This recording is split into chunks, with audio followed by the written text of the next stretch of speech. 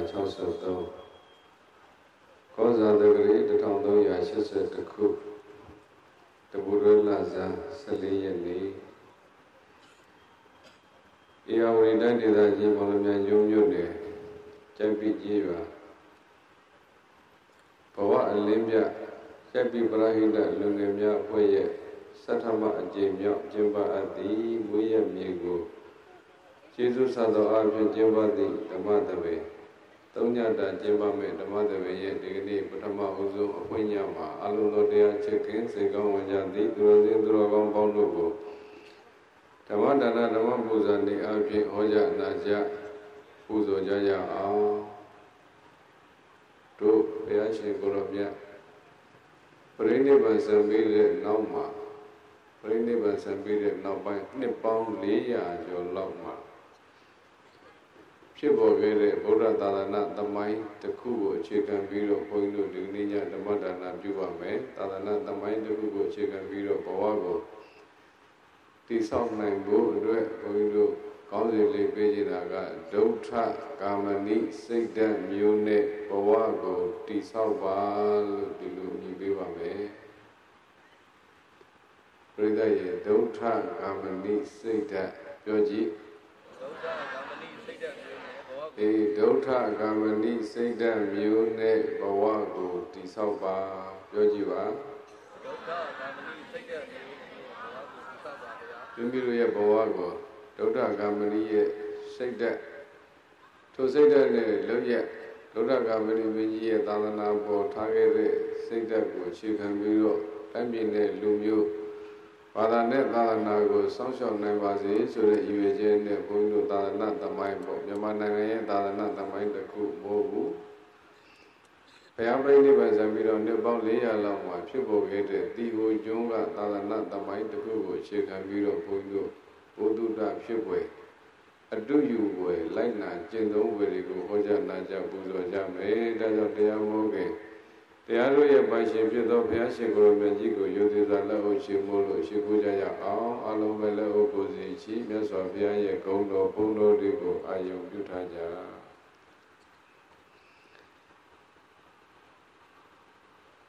အနာထာနေ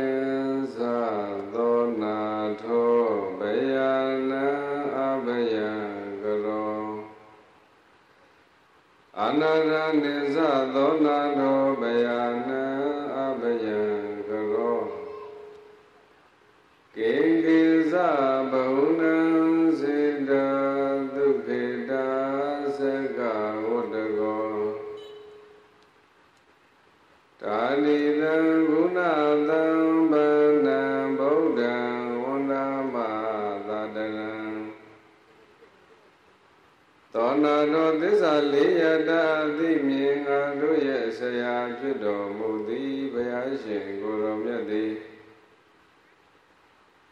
အနန္တန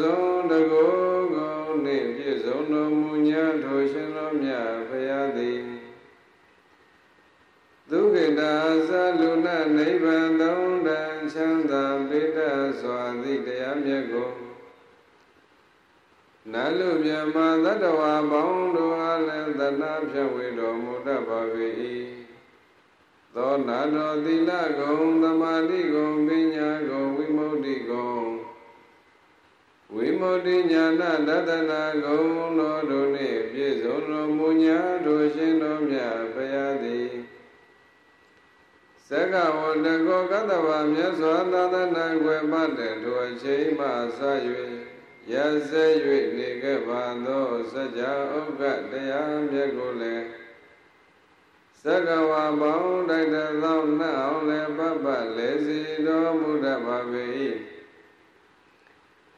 ကာတိတကုဏသမ္ပန္နတောကသောဂုံတော်ကျေးဇူးတော်တို့နှင့်ပြည့်စုံတော်မူပေထသော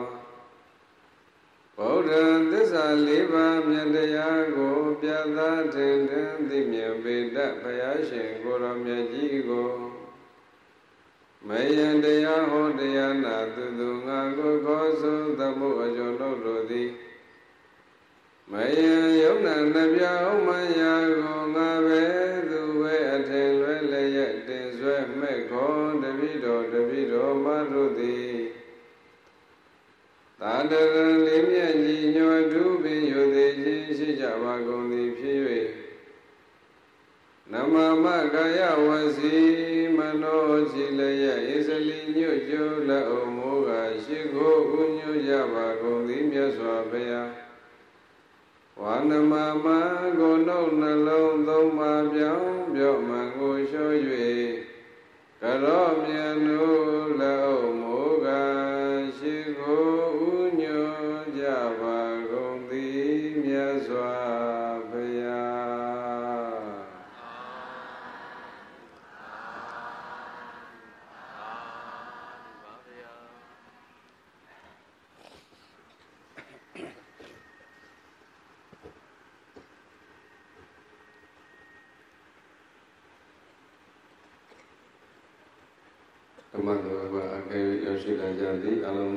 စိတ်ခင်စိတ်ကောင်းဝင်ကြသည်ဥသောစိတ်သူတော်ကောင်းများ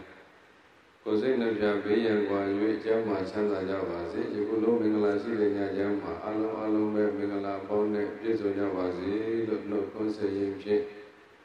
ဓမ္မတော်ပဲစတင်ကြရအောင်မိမိတို့ရဲ့ခန္ဓာကိုယ်နဲ့လည်းလျောညီတွေ့အစဉ်ပြေစေမဲ့ဣရိယာပုကိုရယူပြီးတော့ကြိုက်တယ်လို့လွတ်လွတ်လပ်လပ်ထိုင်လို့နာလို့ရပါပြီ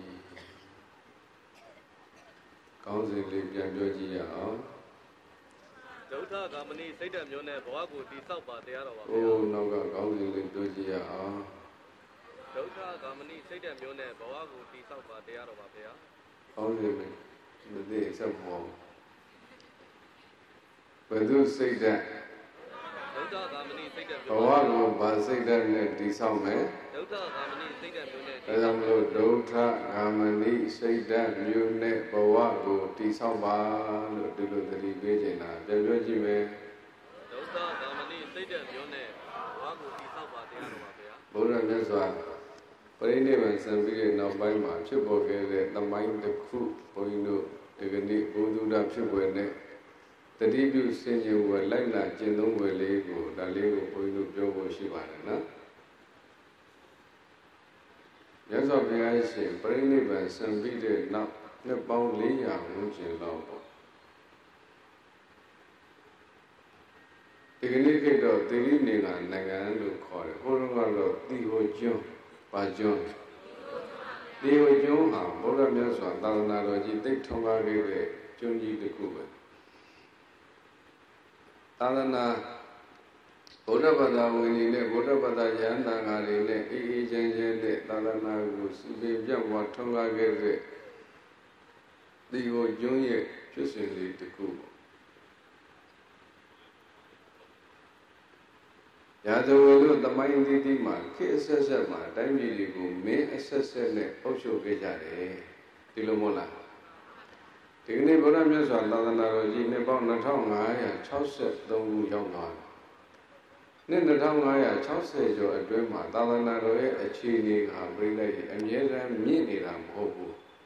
အမြဲတမ်းလည်းပဲသာသနာတော်ကြီးကတိုးတက်စီးပြီးနေတာမဟုတ်အမြဲတမ်းသာသနာတော်နှိမ့်လိုက်မြင့်လိုက်နှိမ့်လိုက်မြင့်လိုက်ဒီလိုရှိနေတယ်။ဘာကြောင့်သာသနာတော်ဟာတိုးတက်သွားလိုက်ဆိုးရုံသွားတယ် နှိမ့်သွားလိုက်မြင့်သွားလိုက်ဘာကြောင့်ဖြစ်တာလဲဘသူကြောင့်ဖြစ်တာလဲဆိုတဲ့အခြေအနေတခုကိုပြန်သုံးသပ်ရင်အဓိကရာဂိုင်နှုန်းတော်တော်များများပါဝင်နေတာဟာတိုင်းပြည်ရဲ့အုပ်ချုပ်သူရှင်ဘရင်ကြောင့်ဘသူကြောင့်ဒီကနေ့ကျတော့ရှင်ဘရင်စနစ်မရှိတော့အုပ်ချုပ်သူအစိုးရကြောင့်တိုင်းပြည်ရဲ့သာသနာဟာနေလဲနေနိုင်တယ်မြင့်လဲမြင့်နိုင်တယ်ပြက်လဲပြက်နိုင်တယ်ပျောက်လဲပျောက်နိုင်တယ် ဒါလေးသတိပြုစီခြင်းနဲ့ဟုတ်လားပြီးတော့ဒီကိုကျိုးဟာသာသနာထုံးကားခဲ့ပေမဲ့အမြဲတမ်းထုံးကားနေရတော့မဟုတ်ဘူးတဲ့နှစ်တည်းဘုရားမြတ်စွာရဲ့နှစ်တရာ200 300စသဖြင့်သာသနာတော်ကြီးရှည်လာတဲ့အခါမှာတစ်ဖက်မှာဒီကိုကျွန်းသူကျွန်းသားတွေကိုဘုရားဘာသာရဲ့အရေးအောက်မှာအေးချမ်းစွာနေနေတဲ့နော် နိုင်ငံသူနိုင်ငံသားတွေနိုင်ငံအရေးအောက်မှာနေကျင်ကြတဲ့နိုင်ငံကောလူမျိုးဘောကိုဝါမျိုးကိုအမြဲတမ်းအကြမ်းဖက်နေတဲ့ပုဂ္ဂိုလ်တွေအစွန်းရောက်ဝါဒရှိတဲ့ပုဂ္ဂိုလ်တွေရဲ့အန္တရာယ်ဟာဒီကိုကျုံးမှာတော်တော်များများရင်ဆိုင်ခဲ့ရတယ်အဲ့လိုအန္တရာယ်ကြားထဲကနေသာသနာတော်ကြီးကိုတိုးတက်အောင်ဆောင်ရွက်ခဲ့ရတဲ့အခြေအနေတစ်ခုတည်းမှာတိုင်းပြည်အုပ်ချုပ်တဲ့ရှင်ဘုရင်ဟာလက်ရေးပါတယ်ဆိုတော့ဘုန်းကြီးတို့တွေ့ရတယ်။ အခြားသမိုင်းစဉ်အချက်တွေကြောင်းလို့ဘုန်းကြီးပြောချင်တဲ့သမိုင်းတစ်ခုဟာဒီဒုဋ္ဌဂာမဏိဆိုတဲ့သမိုင်းဟာသာသနာသမိုင်းမှာစိတ်ဝင်စားစရာလည်းကောင်းတယ်အမှန်တမ်းလည်းရှည်လဲရှည်လဲရတယ်။ဘုန်းကြီးတို့ကလူရင်းလောက်ကိုဒီမှာနည်းနည်းလေးယူပြောဖို့ဒီဝကျုံးမှာပြိလိုက်ဘယင်ကြီးတစ်ပါးအုပ်ချုပ်ခဲ့တဲ့ကာကဝဏတိတ်တလို့ခေါ်တဲ့ရှင်ဘယင်ပြောကြည့်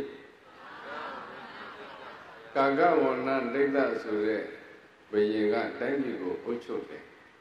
အုပ်ချုပ်တဲ့အချိန်မှာသူသည်ဗုဒ္ဓမြတ်စွာသာသနာတော်ကြီးကိုတိတ်တံပိုးထားတဲ့ရှင်ဘယင်တစ်ပါးဖြစ်တယ်ယရဏသုံးပါးကိုသိကြည်ညိုတဲ့ရှင်ဘယင်ဖြစ်တယ်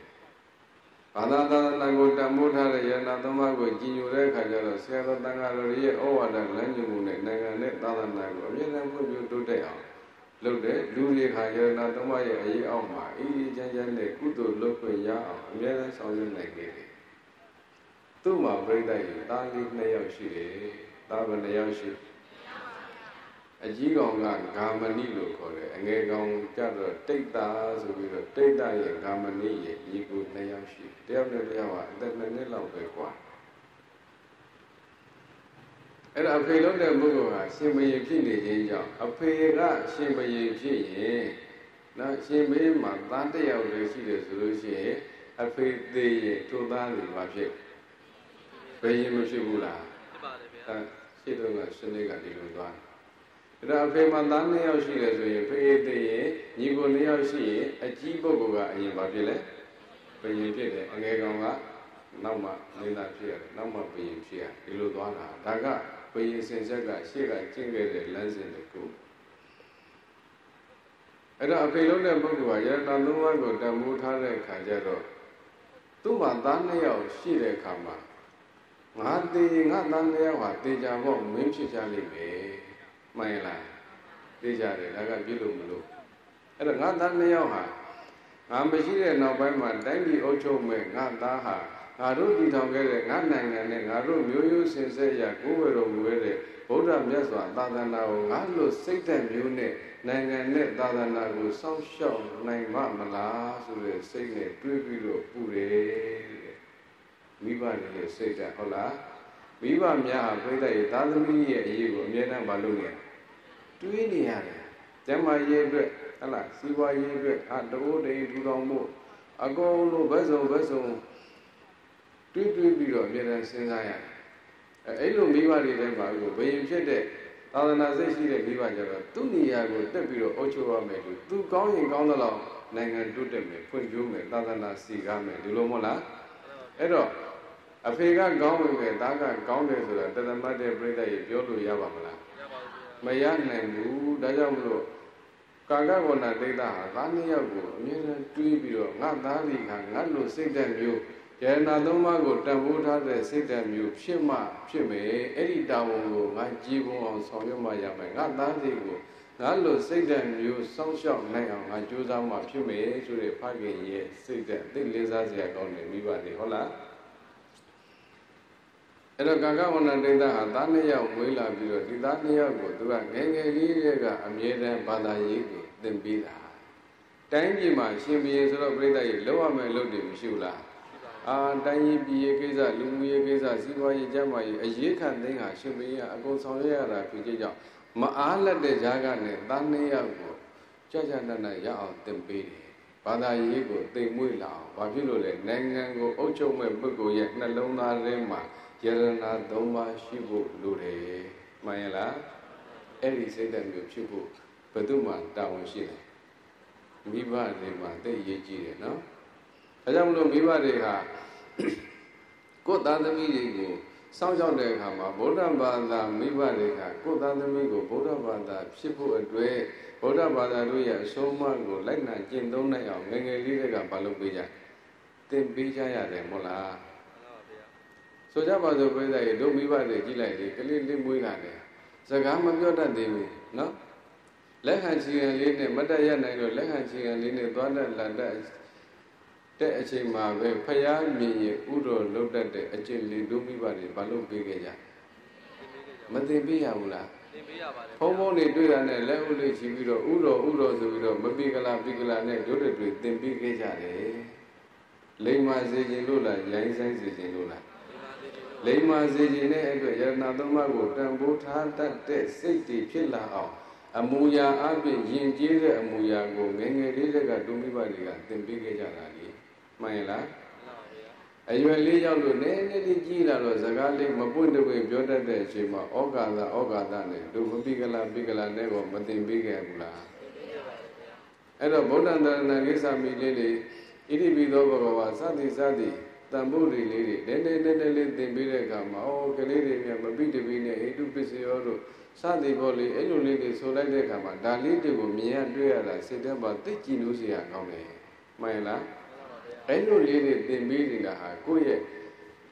ရိုးရရင်ကျင်းမှုနဲ့ဘာသာဓလေ့ထုံးတမ်းစင်လာရဲ့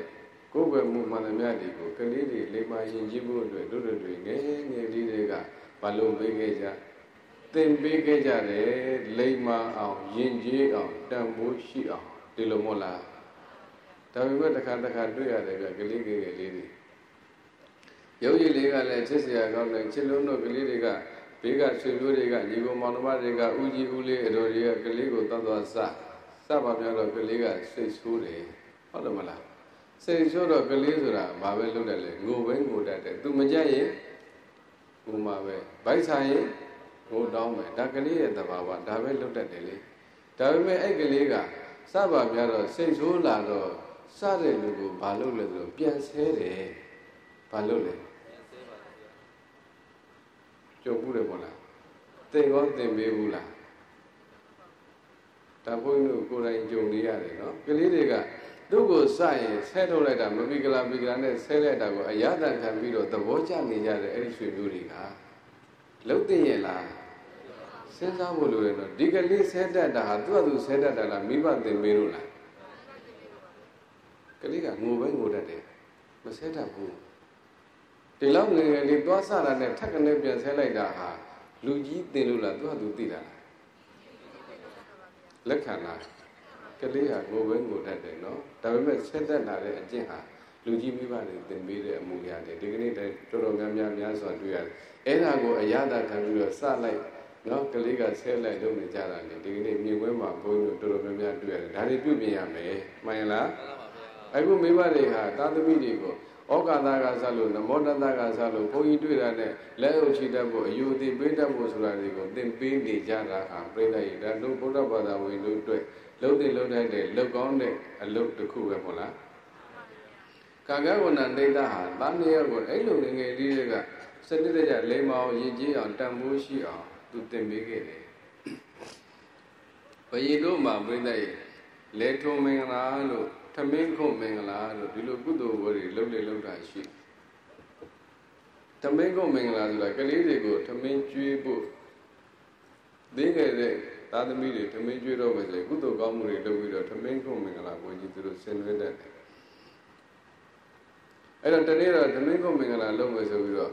ကုသိုလ်ကောင်းမှုဝယ်ကြီးလုပ်တာနန်းတော်ထဲမှာတန်ခါပန်း900လောက်ပြင့်ပြီးတော့ဆုံးကတ်တယ်ရှင်ဘုရင်နဲ့မိဘရဆုံးကတ်ပြီးတဲ့ခါကျတော့ တန်ခါတော်တွေဖုံးပေးပြီးတဲ့ဆုံးကြခင်းကြတွေကိုဘုရင်နဲ့မိဘရကစားတယ်စားပြီးတော့မှအဲ့ဒီသားနှစ်ယောက်ကိုထမင်းကျွေးဖို့ထမင်းကျွေးမဲ့ခါကျတော့အဲ့ဒီထမင်းပကံလေးကိုယူပြီးတော့သားနှစ်ယောက်ကိုသစ္စာဆိုပြီးတော့ထမင်းကျွေးတယ်တဲ့။ဘာလုပ်ပေးလဲ။သစ္စာဆိုပြီးတဲ့တိုင်ပေးတယ်။သူသစ္စာဆိုပေးတာကဖခင်သည်နော်တိုင်းပြည်အုပ်ချုပ်တဲ့ရှင်ဘုရင်ဖြစ်တယ်။ နောက်ဗုဒ္ဓဘာသာတို့မှာယရဏသုံးပါးကိုတန်ဖိုးထားပြီးတော့ယရဏသုံးပါးကိုကြီးညိုလေးစားတဲ့ဗုဒ္ဓဘာသာဝင် ဖြစ်နေခြင်းကြောင့်ဒီသားတွေကလည်းပဲသူ့လိုအရွယ်ကြီးလာပြီးတော့တိုင်းပြည်ရဲ့အချုပ်အခြာအာဏာတွေကိုရယူတဲ့အချိန်ခါမှာယရဏသုံးပါးနဲ့ဒီသာသနာတော်ကြီးကိုတန်ဖိုးရှိရှိနဲ့စောင့်ရှောက်စေခြင်းနဲ့စိတ်ဖခင်မှာအမြဲရှိတယ်။ဒါကြောင့်မလို့သားနှစ်ယောက်ကိုဘာပြောလဲဆိုတော့သားနှစ်ယောက်ကိုသင်တို့နှစ်ယောက်ဟာ ငါတို့မျိုးရိုးစင်ဆက်အရာကိုယ်ဝေတော်မူခဲ့တဲ့ဗုဒ္ဓမြတ်စွာဒီသာသနာတော်ကြီးကိုမထီမဲ့မြင်မပြုတ်ဘဲနဲ့စောင့်ရှောက်ပါမယ်လို့အကယ်၍မြန်သာသနာတော်ကြီးကိုမထီမဲ့မြင်ပြုခဲ့မယ်စောင့်ရှောက်မှုမပြုတ်ဘူးဆန့်ကျင်မှုတွေပြုနေမယ်ဆိုရင်ယခုစားမဲ့အစားအစာသည်အစိတ်တပွဲဖြစ်ပါစေသာသမယအစားအစာသည်သာသနာတော်ကြီးကို သာသနာရှင်ကတည်တန်းရေးကိုစောင့်ရှောက်မှုမပြုဘဲနဲ့သာသနာကိုမျက်ွယ်ပြုပြီးတော့ဆန့်ကျင်ဘက်တွေလုပ်နေမယ်ဆိုရင်သာသမယအစားအစာတွေဘာဖြစ်တတ်အစိတ်တပွဲဖြစ်ပါစေဆိုပြီးတော့သစ္စာဆိုပြီးတော့ကလေးနှစ်ယောက်ကိုထမင်းခွန်ပေးတယ်တဲ့ကလေးနှစ်ယောက်ကလည်းအဲ့ဒီသစ္စာကိုဆိုပြီးတော့စားတယ်အဲ့ဒီကလေးကအငယ်ကောင်ကအသက်3နှစ်အကြီးကောင်ကအသက်5နှစ်ပဲရှိသေးတယ်နော်အဲ့ဒီအရွယ်လေးမှာစပြီးတော့ထမင်းခွန်မင်္ဂလာစုပ်ပြီးတဲ့အချိန်ကစပြီးတော့ဘာသာရေးကို ဖခင်ကြီးကကြာကြာနတ်နတ်သင်ပေးတယ်အဲ့တော့သင်ပေးတဲ့အခါမှာပြိဿကြီးအဲ့လိုနဲ့အရွယ်လေးနည်းနည်းရောက်လာဘယ်လောက်ထိရောက်လာလဲဆိုတော့အသက်12နှစ်လောက်ရောက်တဲ့အချိန်ပြောအသက်ဘယ်နှစ်နှစ်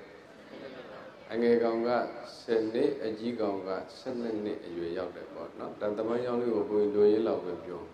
အဲ့တော့ စောစောက9နှစ်ကနေအခု12နှစ်ဆိုတော့အသက်ဘယ်လောက်ဖြစ်သွားလဲ9နှစ်လောက်ကာလလေးခြားသွားတဲ့အခြေအနေလေးတစ်ခုမှာဘဂင်ကြီးကကုသိုလ်ဝဲကြီးတစ်ခုလုပ်တယ်သံဃာတော်ကိုနန်းတော်ထဲမှာပင်းပြီးတော့ကုသိုလ်ဝဲကြီးလုပ်ပါတယ်လုပ်ပြီးတဲ့အခါမှာသူ့သားတွေ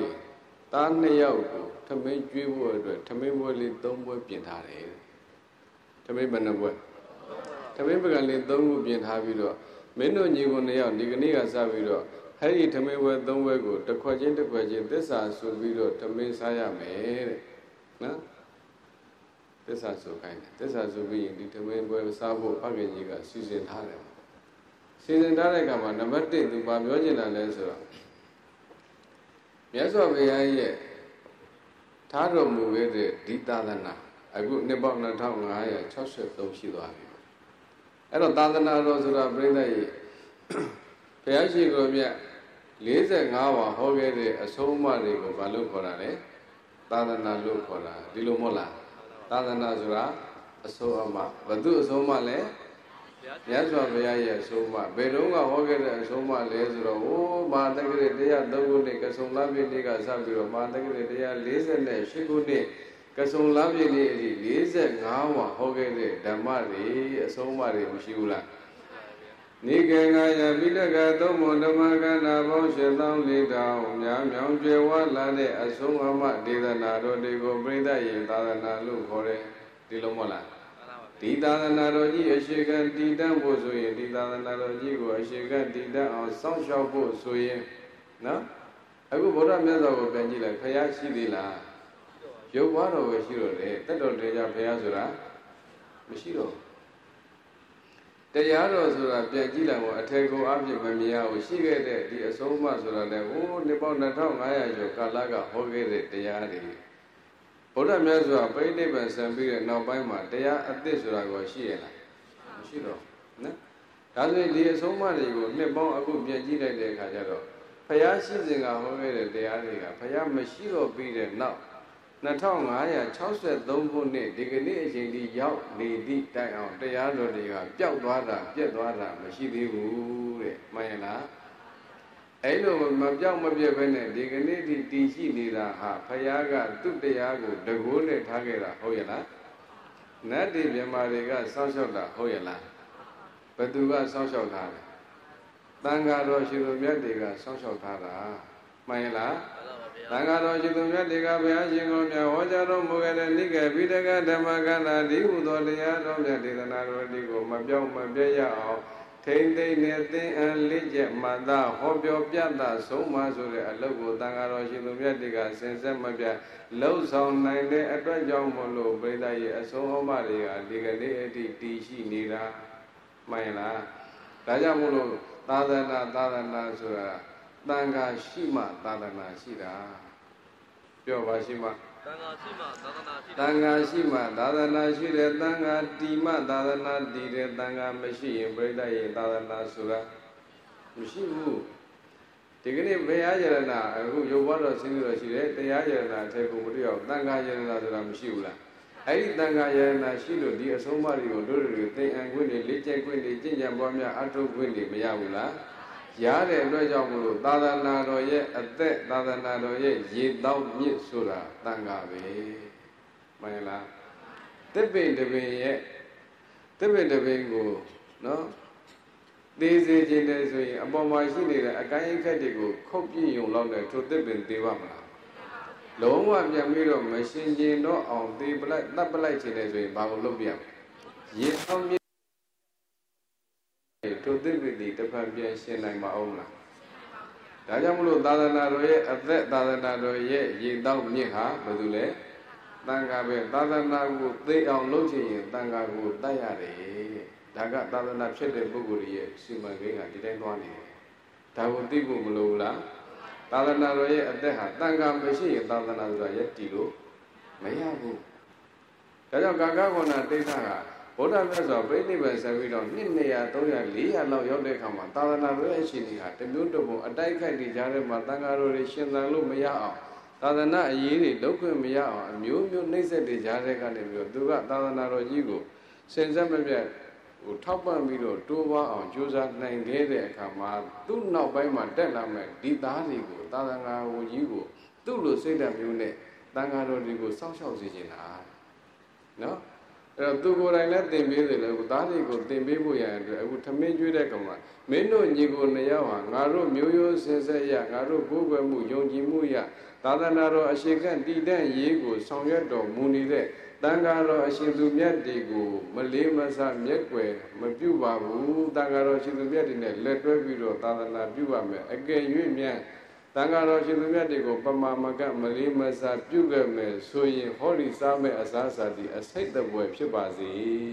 တဲ့အဲ့ဒီလိုသစ္စာဆိုပြီးတော့ထမင်းကျွေးတယ်တဲ့ပထမထမင်းပကံအဲ့တော့ညီကိုနှစ်ယောက်ဟာမပြောလဲဆိုတော့သားတို့ညီကိုနှစ်ယောက်ဟာ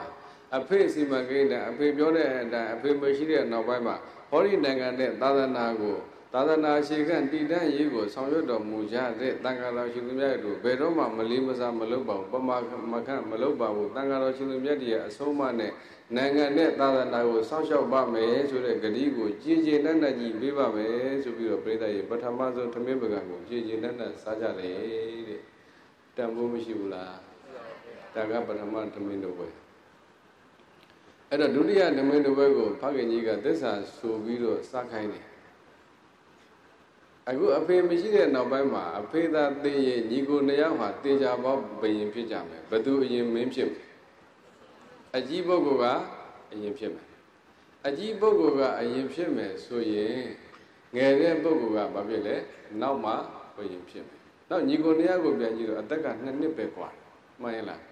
အဲ့တော့အဖေကသိလို့ညီကိုနှစ်ယောက်ကအကိုကဘယင်ဖြစ်မယ်ဆိုရင်အကိုသိအောင်ညီကစောင့်ရင်တော်တော်နဲ့အာဏာရဖို့ကမလွယ်ဘူးလေဟုတ်တယ်မလား ဒါဆိုရင်ညီလို့တဲ့ပုဂ္ဂိုလ်ကအာနာကိုလိုချင်တာလိမ့်မယ်အာနာကိုလိုချင်ရင်ညီကိုနေရာဟာတေချာဘောစစ်ဖြစ်မယ်ရံဖြစ်မယ်အဖေမရှိတဲ့နောက်ပိုင်းမှာမှန်ရလားအဲ့တော့မင်းသားနှစ်ယောက်မှာအကိုလို့တဲ့ပုဂ္ဂိုလ်ကိုခါစားတဲ့မူကြီးမယသေနာပြီးတဲ့တိုင်းသူပြည်သားတွေရှိမယ်ညီဘက်ကိုခါစားတဲ့မူကြီးမယသေနာပတိနဲ့တိုင်းသူပြည်သားတွေမရှိဘူးလားရှိရင်ညီကိုနှစ်ယောက်မှာအုပ်စုနှစ်စုမှာပြစ်သွားနိုင်ကွဲသွားနိုင်တယ် ကွဲသွားနိုင်ရင်အာနာနဲ့ပတ်သက်လို့ဖေးမရှိတဲ့နောက်ပိုင်းမှာအာနာလူဝဲတွေဖြစ်မယ်ဆိုရင်ဒီအုပ်စုနှစ်ယောက်ဟာတေချာပေါက်စစ်ဖြစ်ပြီပေါ့မှန်လားမှန်လားပါဗျာတိုင်းပြည်တစ်ခုကစစ်ပွဲဖြစ်ပြီဆိုတဲ့ကပြိတ္တရေအေးအေးချမ်းချမ်းလူတွေနေလို့မရတော့တေကြမယ်ပြေကြမယ်တိုက်ကြမယ်ခိုက်ကြမယ်တတ်ကြဖြတ်ကြနဲ့အေးအေးချမ်းချမ်းနေလို့ရပါမလားမရပါဘူးဗျာအဖေကအဲ့ဒါကိုသိစိတ်ပူတာငါမရှိတဲ့နောက်ပိုင်းမှာငါသားနှစ်ယောက်ရံဖြစ်ရင်တိုင်းသူပြည်သားတွေဒုက္ခရောက်လိမ့်မယ် လူတွေကပြိတ္တရေအာနာနဲ့ပတ်သက်လာရင်အဖေတတ်ဖို့လည်းဝန်မလေးဘူးမှန်လားမှန်လားပါဗျာတန်ခါတတ်ဖို့လည်းဝန်မလေးဘူးဘရစ်ရာတို့မပြောနဲ့လေဒီကနေ့ကြကြတော့အုပ်ချုပ်ရေးမှုတော့ရံဖြစ်လူနေကြတာလေမှန်လားပါဗျာဟုတ်ရဲ့လားမှန်လားပါဗျာအဲ့လိုအခြေအနေမျိုးမှာအာနာနဲ့ပတ်သက်လာရင် ယံဖြစ်မှာဆိုတဲ့ယံဖြစ်ရင်တိုင်းသူပြည်သားတွေဒုက္ခရောက်မယ်ဒါကြောင့်မလို့ညီကိုနှစ်ယောက်ကိုမင်းတို့ညီကိုနှစ်ယောက်ဟာဘယ်တော့မှယံမဖြစ်ပါဘူးဆိုတဲ့ဂတိတစ်ခုပေးပြီးတော့သစ္စာဆိုပြီးတော့ဒီထမင်းပွဲကိုစားပါအမလီတန်ဖိုးရှိလိုက်တာမှန်ရဲ့လားမှန်လားပါအမျော်အမြင်ကြည့်မှုဖခင်ရဲ့မှန်ရဲ့လားမှန်လားပါဗျာအဲ့တော့ညီကိုနှစ်ယောက်ရံဖြစ်ရင်တိုင်းပြည်နေတာမှာဆိုလို့ဒါတို့ညီကိုနှစ်ယောက်ဟာ ရံမဖြစ်ပါဘူးဆိုတဲ့ဂတိတစ်ခုပြီးပြီးတော့ဒီသမင်းကိုစားပါဆိုတော့ညီကိုနှစ်ယောက်ကကြည်ကျင်နဲ့နဲ့ကြီးတစ္ဆာဆိုတဲ့ကျွန်တော်တို့ညီကိုနှစ်ယောက်ဘယ်တော့မှရံမဖြစ်ပါဘူးဆိုတဲ့ဂတိကိုပေးပါတယ်ဆိုပြီးတော့ပြိဿရေဒုတိယမြောက်သမင်းတစ်ပွဲကိုကြည်ကျင်နဲ့နဲ့စားလိုက်တယ်တစ္ဆာဆိုတာနှစ်ကြိမ်ရှိသွားဟုတ်လားမှန်လားပါဗျာအဲ့တော့တတိယမြောက်သစ္စာဆိုခိုင်းတယ် တတိယမြောက်သစ္စာဆိုခိုင်းတာကတတိယမြောက်ထမင်းပွဲကိုစားဖို့တဲ့ဖခင်ကြီးကညီကိုနှစ်ယောက်ရဲ့စိတ်ဓာတ်ကိုစမ်းသပ်ဖို့အတွက်သူကပြင်ထားတာအဲ့တော့ဒီကိုကျွန်းသည်ကျွန်းဆိုတာနော်ဒုဘကအလုံးသိပြီးသားပဲပင်လယ်တွေကကျွန်းတစ်ကျွန်းမှာဒါနိုင်ငံတည်ထောင်ထားတာအဲ့ဒီတစ်ပတ်ကန်းကနေပြီးတော့ဒီကိုကျွန်းသူကျွန်းသားတွေကိုဒီကိုကျွန်းဟာ ဘယင်မင်းမြတ်အဆက်ဆက်ကလည်းဗုဒ္ဓဘာသာဝင်တွေဖြစ်တယ်တိုင်းသူပြည်သားတွေကလည်းဗုဒ္ဓဘာသာဝင်တွေဖြစ်တဲ့ယဟန်တန်ဃာတွေနဲ့အေးအေးချမ်းချမ်းနဲ့ဘာသာရေးသာသနာရေးအလုပ်တွေကိုလုပ်နေတဲ့တီဟိုကျွန်းကိုတစ်ဖက်မှာရှိနေတဲ့ပုဂ္ဂိုလ်တွေကအဲ့ဒီကျွန်းကိုအပိုင်စီးဖို့ကြိုးစားတာအမြဲတမ်းတိုက်နေတာစာပေမှာကတော့ဓမေလလို့ခေါ်တယ်မိစ္ဆာဒိဋ္ဌိကြီးကလားတွေတမီလို့နောက်ပိုင်းသုံးလာကြတယ်အဲ့တော့ဘာသာကြမိစ္ဆာဒိဋ္ဌိကြီးကလားတွေကတီဟိုကျွန်းကြီးကိုသူအပိုင်စီးကြတယ် နိုင်ငံကိုအပိုင်စီးခြင်းတယ်နိုင်ငံသူနိုင်ငံသားတွေကိုသူတို့ဘာသာမျိုးကိုသွတ်သွင်းခြင်းတယ်နိုင်ငံမှာသာသနာတော်ကြီးကိုအရှိကအောင်တည်တောက်အောင်လုပ်နေတဲ့တန်ခါတွေကိုတတ်ခြင်းတယ်အဲနိုင်ငံကိုလူမျိုးရောဘာသာရောသာသနာရောဝါမျိုးဖို့အမြဲတမ်းတိုက်ခိုက်နေတာဟာနှစ်ပေါင်းများစွာအဲ့တော့အဲ့လိုတိုက်ခိုက်နေတဲ့အတွက်ကြောင့်မို့လို့တိုင်းသူပြည်သားတွေကနိုင်ငံထဲမှာအေးချမ်းချမ်းနေလို့မရဘူးလေ အမြဲတမ်းပြဿနာရှာနေတယ်ဆုံးကံတန်ခါတော်ရှင်သူမြတ်တွေကဆုံးကံဆုံးစားပရိယပฏิပတ်လုပ်ငန်းတွေကိုလည်းအေးအေးချမ်းချမ်းလုပ်လို့မရလုပ်လို့မရတဲ့အခါကျတော့ကလေးလူကြီးကအမြဲတမ်းဒီအန္တရာယ်တွေရင်ဆိုင်နေရတော့ကလေးတွေမှလည်းစိတ်မကောင်းဖြစ်ရတယ်လူကြီးတွေကလည်းအေးအေးချမ်းချမ်းစီးပွားရေးလုပ်ကိုင်စားသောက်လို့မရဘူးအာဘာသာရေးလုပ်ငန်းတွေလည်းအေးအေးဆေးဆေးလုပ်လို့မရဘူးတော့ကြဟွန်ဒါဝင်တက်လိုက်ပြန်ပြီဟွန်ဒါပြစ်လိုက်ပြန်ပြီအခုမှရခိုင်မှာဖြစ်နေတယ်လို့မျိုးပေါ့တက်တက်တော့ဆိုသေးတယ် အဲ့တော့ဘာသာကြမိစ္ဆာဒိဋ္ဌိခြေကလားတွေဟာအဲဒီလိုအပိုင်စည်းပြီးတော့နိုင်ငံကိုအပိုင်စည်းဖို့ကြိုးစားပြီးတော့တပ်ဖြတ်နေတဲ့အချိန်မှာရင်ဆိုင်နေရတဲ့ကလေးတွေရဲ့စိတ်ဓာတ်ကိုဖခင်ကြီးကစမ်းသပ်တော်အဖြစ်မင်းတို့ညီကိုနှစ်ယောက်ဟာတဲ့ငါတို့နိုင်ငံနဲ့လူမျိုးဘာသာနဲ့သာသနာကိုဝါမျိုးဖို့ကြိုးစားနေတဲ့မိစ္ဆာဒိဋ္ဌိခြေကလားတွေကိုပြန်ပြီးတော့မတိုက်ပါဘူးဆိုတဲ့ဂရီကိုပေးပြီးတော့ဒီထမင်းပွဲကိုစားပါတဲ့ နိုင်ငံကိုရံပြုနေတဲ့နိုင်ငံနဲ့သာသနာကို အပိုင်စည်းနေတဲ့မိစ္ဆာဒိဋ္ဌိခြေကလားတွေကိုပြန်ပြီးတော့မတိုက်ပါဘူးဆိုတဲ့ဂတိပေးပြီးတော့ထမင်းပွဲကိုစားပါဆိုပြီးတော့ဖခင်ကသစ္စာဆိုခိုင်းတယ်တဲ့အဲလိုသစ္စာဆိုခိုင်းတာကိုဆယ်နှစ်သားအငယ်ကောင်ကထပ်ပြီးတော့ထမင်းပကံကိုကင်ပေါက်လိုက်တယ်အသက်ဘယ်လောက်လဲ 12နှစ်သားအကြီးကောင်ဂါမဏိဆိုတဲ့ကောင်ကအဲ့ဒီထမင်းပွဲတွေကိုထမင်းတွေကိုဒစီမကြံဖနှောက်နဲ့ပတ်ပြီးတော့ဖခင်ဒီဂတိတော့ဘယ်တော့မှမပေးနိုင်ဘူးတဲ့နိုင်ငံနဲ့သာသနာကိုဒီလောက်ဒုက္ခပေးနေတဲ့မိစ္ဆာဒိဋ္ဌိကြီးကရာတွေကိုကျွန်တော်တိုက်ကိုတိုက်မှာပါဒီဂတိမတိနိုင်ဘူးဒီထမင်းကိုမစားနိုင်ဘူးဆိုပြီးတော့ဖနှောက်နဲ့ပတ်ပြီးတော့ထွက်သွားတယ်အသက်ဘယ်လောက်လဲ10နှစ်ပါဗျာ80ကျော်တွေတတိရှိဖို့ကောင်းပြီနော်အခုချိန်ဒီအဲ့အတိမျိုးမရသေးဘူးဟုတ်လား တိုင်းပြည်နဲ့တိုင်းသူပြည်သားတွေကိုအေးအေးချမ်းချမ်းနေနေတဲ့တိုင်းသူပြည်သားတွေကိုဒုက္ခပေးနေတာကိုကလေးလေးတွေသိတယ်ဖခင်ကသူ့ကိုသင်ပေးခဲ့တာဘာသာကြားတွေကိုတခြားပုဂ္ဂိုလ်တွေကိုတခြားသူတွေကိုဒုက္ခပေးဖို့ဖခင်နဲ့လည်းမသင်ပေးခဲ့သင်ပေးခဲ့တာလိမ္မာအောင်ယဉ်ကျေးအောင်တန်ဖိုးရှိအောင်ဖះလောင်းတို့ရဲ့စိတ်ဓာတ်နဲ့နိုင်ငံနဲ့သာသနာကိုစောင့်ရှောက်ခဲ့အောင်ဖခင်ကဒါပဲသင်ပေးခဲ့တာဒါပေမဲ့ကလေးတွေက ဒီအရွယ်လေးကဘာဖြစ်လို့ဒီစိတ်ဓာတ်တွေသိနေရတာလဲသူကိုယ်တိုင်ခံစားပြီးတော့သိနေရတာသူများပြောလို့မဟုတ်ဘူးအေးအေးချမ်းချမ်းကိုယ်ဘာသာတရားရဲ့အရေးအောက်မှာအေးအေးချမ်းချမ်းနေနေတာကိုအမြဲတမ်းမလုပ်နဲ့ရံပြုတ်နေတယ်နိုင်ငံသူနိုင်ငံသားတွေကိုဒုက္ခပေးနေတယ်နိုင်ငံကိုအပိုင်စီးဖို့တိုက်ခိုက်နေတယ်ရဟန်းတန်ဃာတွေကိုတွေ့တဲ့နေရာတပ်ဖြတ်နေတယ်ဆိုတဲ့ဒီအခြေအနေတွေကဒီကလေးတွေမှာမခံစားနိုင်ဘူး ငါတို့လက်ထက်ကြရင်ငါအာဏာရှိတဲ့ချိန်ကျရင်ငါနိုင်ငံနဲ့သာသနာအတွက်ဒီအန္တရာယ်တွေကိုငါကာကွယ်မယ်ငါတိုက်ခိုက်မယ်ဆိုတဲ့စိတ်ကအခုဆယ်နှစ်သားကလေးတွေမှာရှိနေတယ်ဆယ်နှစ်နှစ်အရွယ်ကလေးရဲ့အတိထဲမှာရှိနေတယ်တို့လူကြီးတွေသိဖို့ကောင်းပြီနော်မှန်ရလား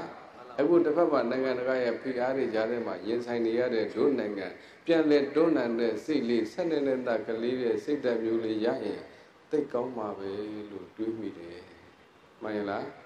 မှန်လားပါဗျာ ရှိစေတော့နော်အဲ့တော့ဖခင်ကြီးကအဲ့ဒီသစ္စာလဲဆိုပြီးတော့ကလေးတစ်ယောက်က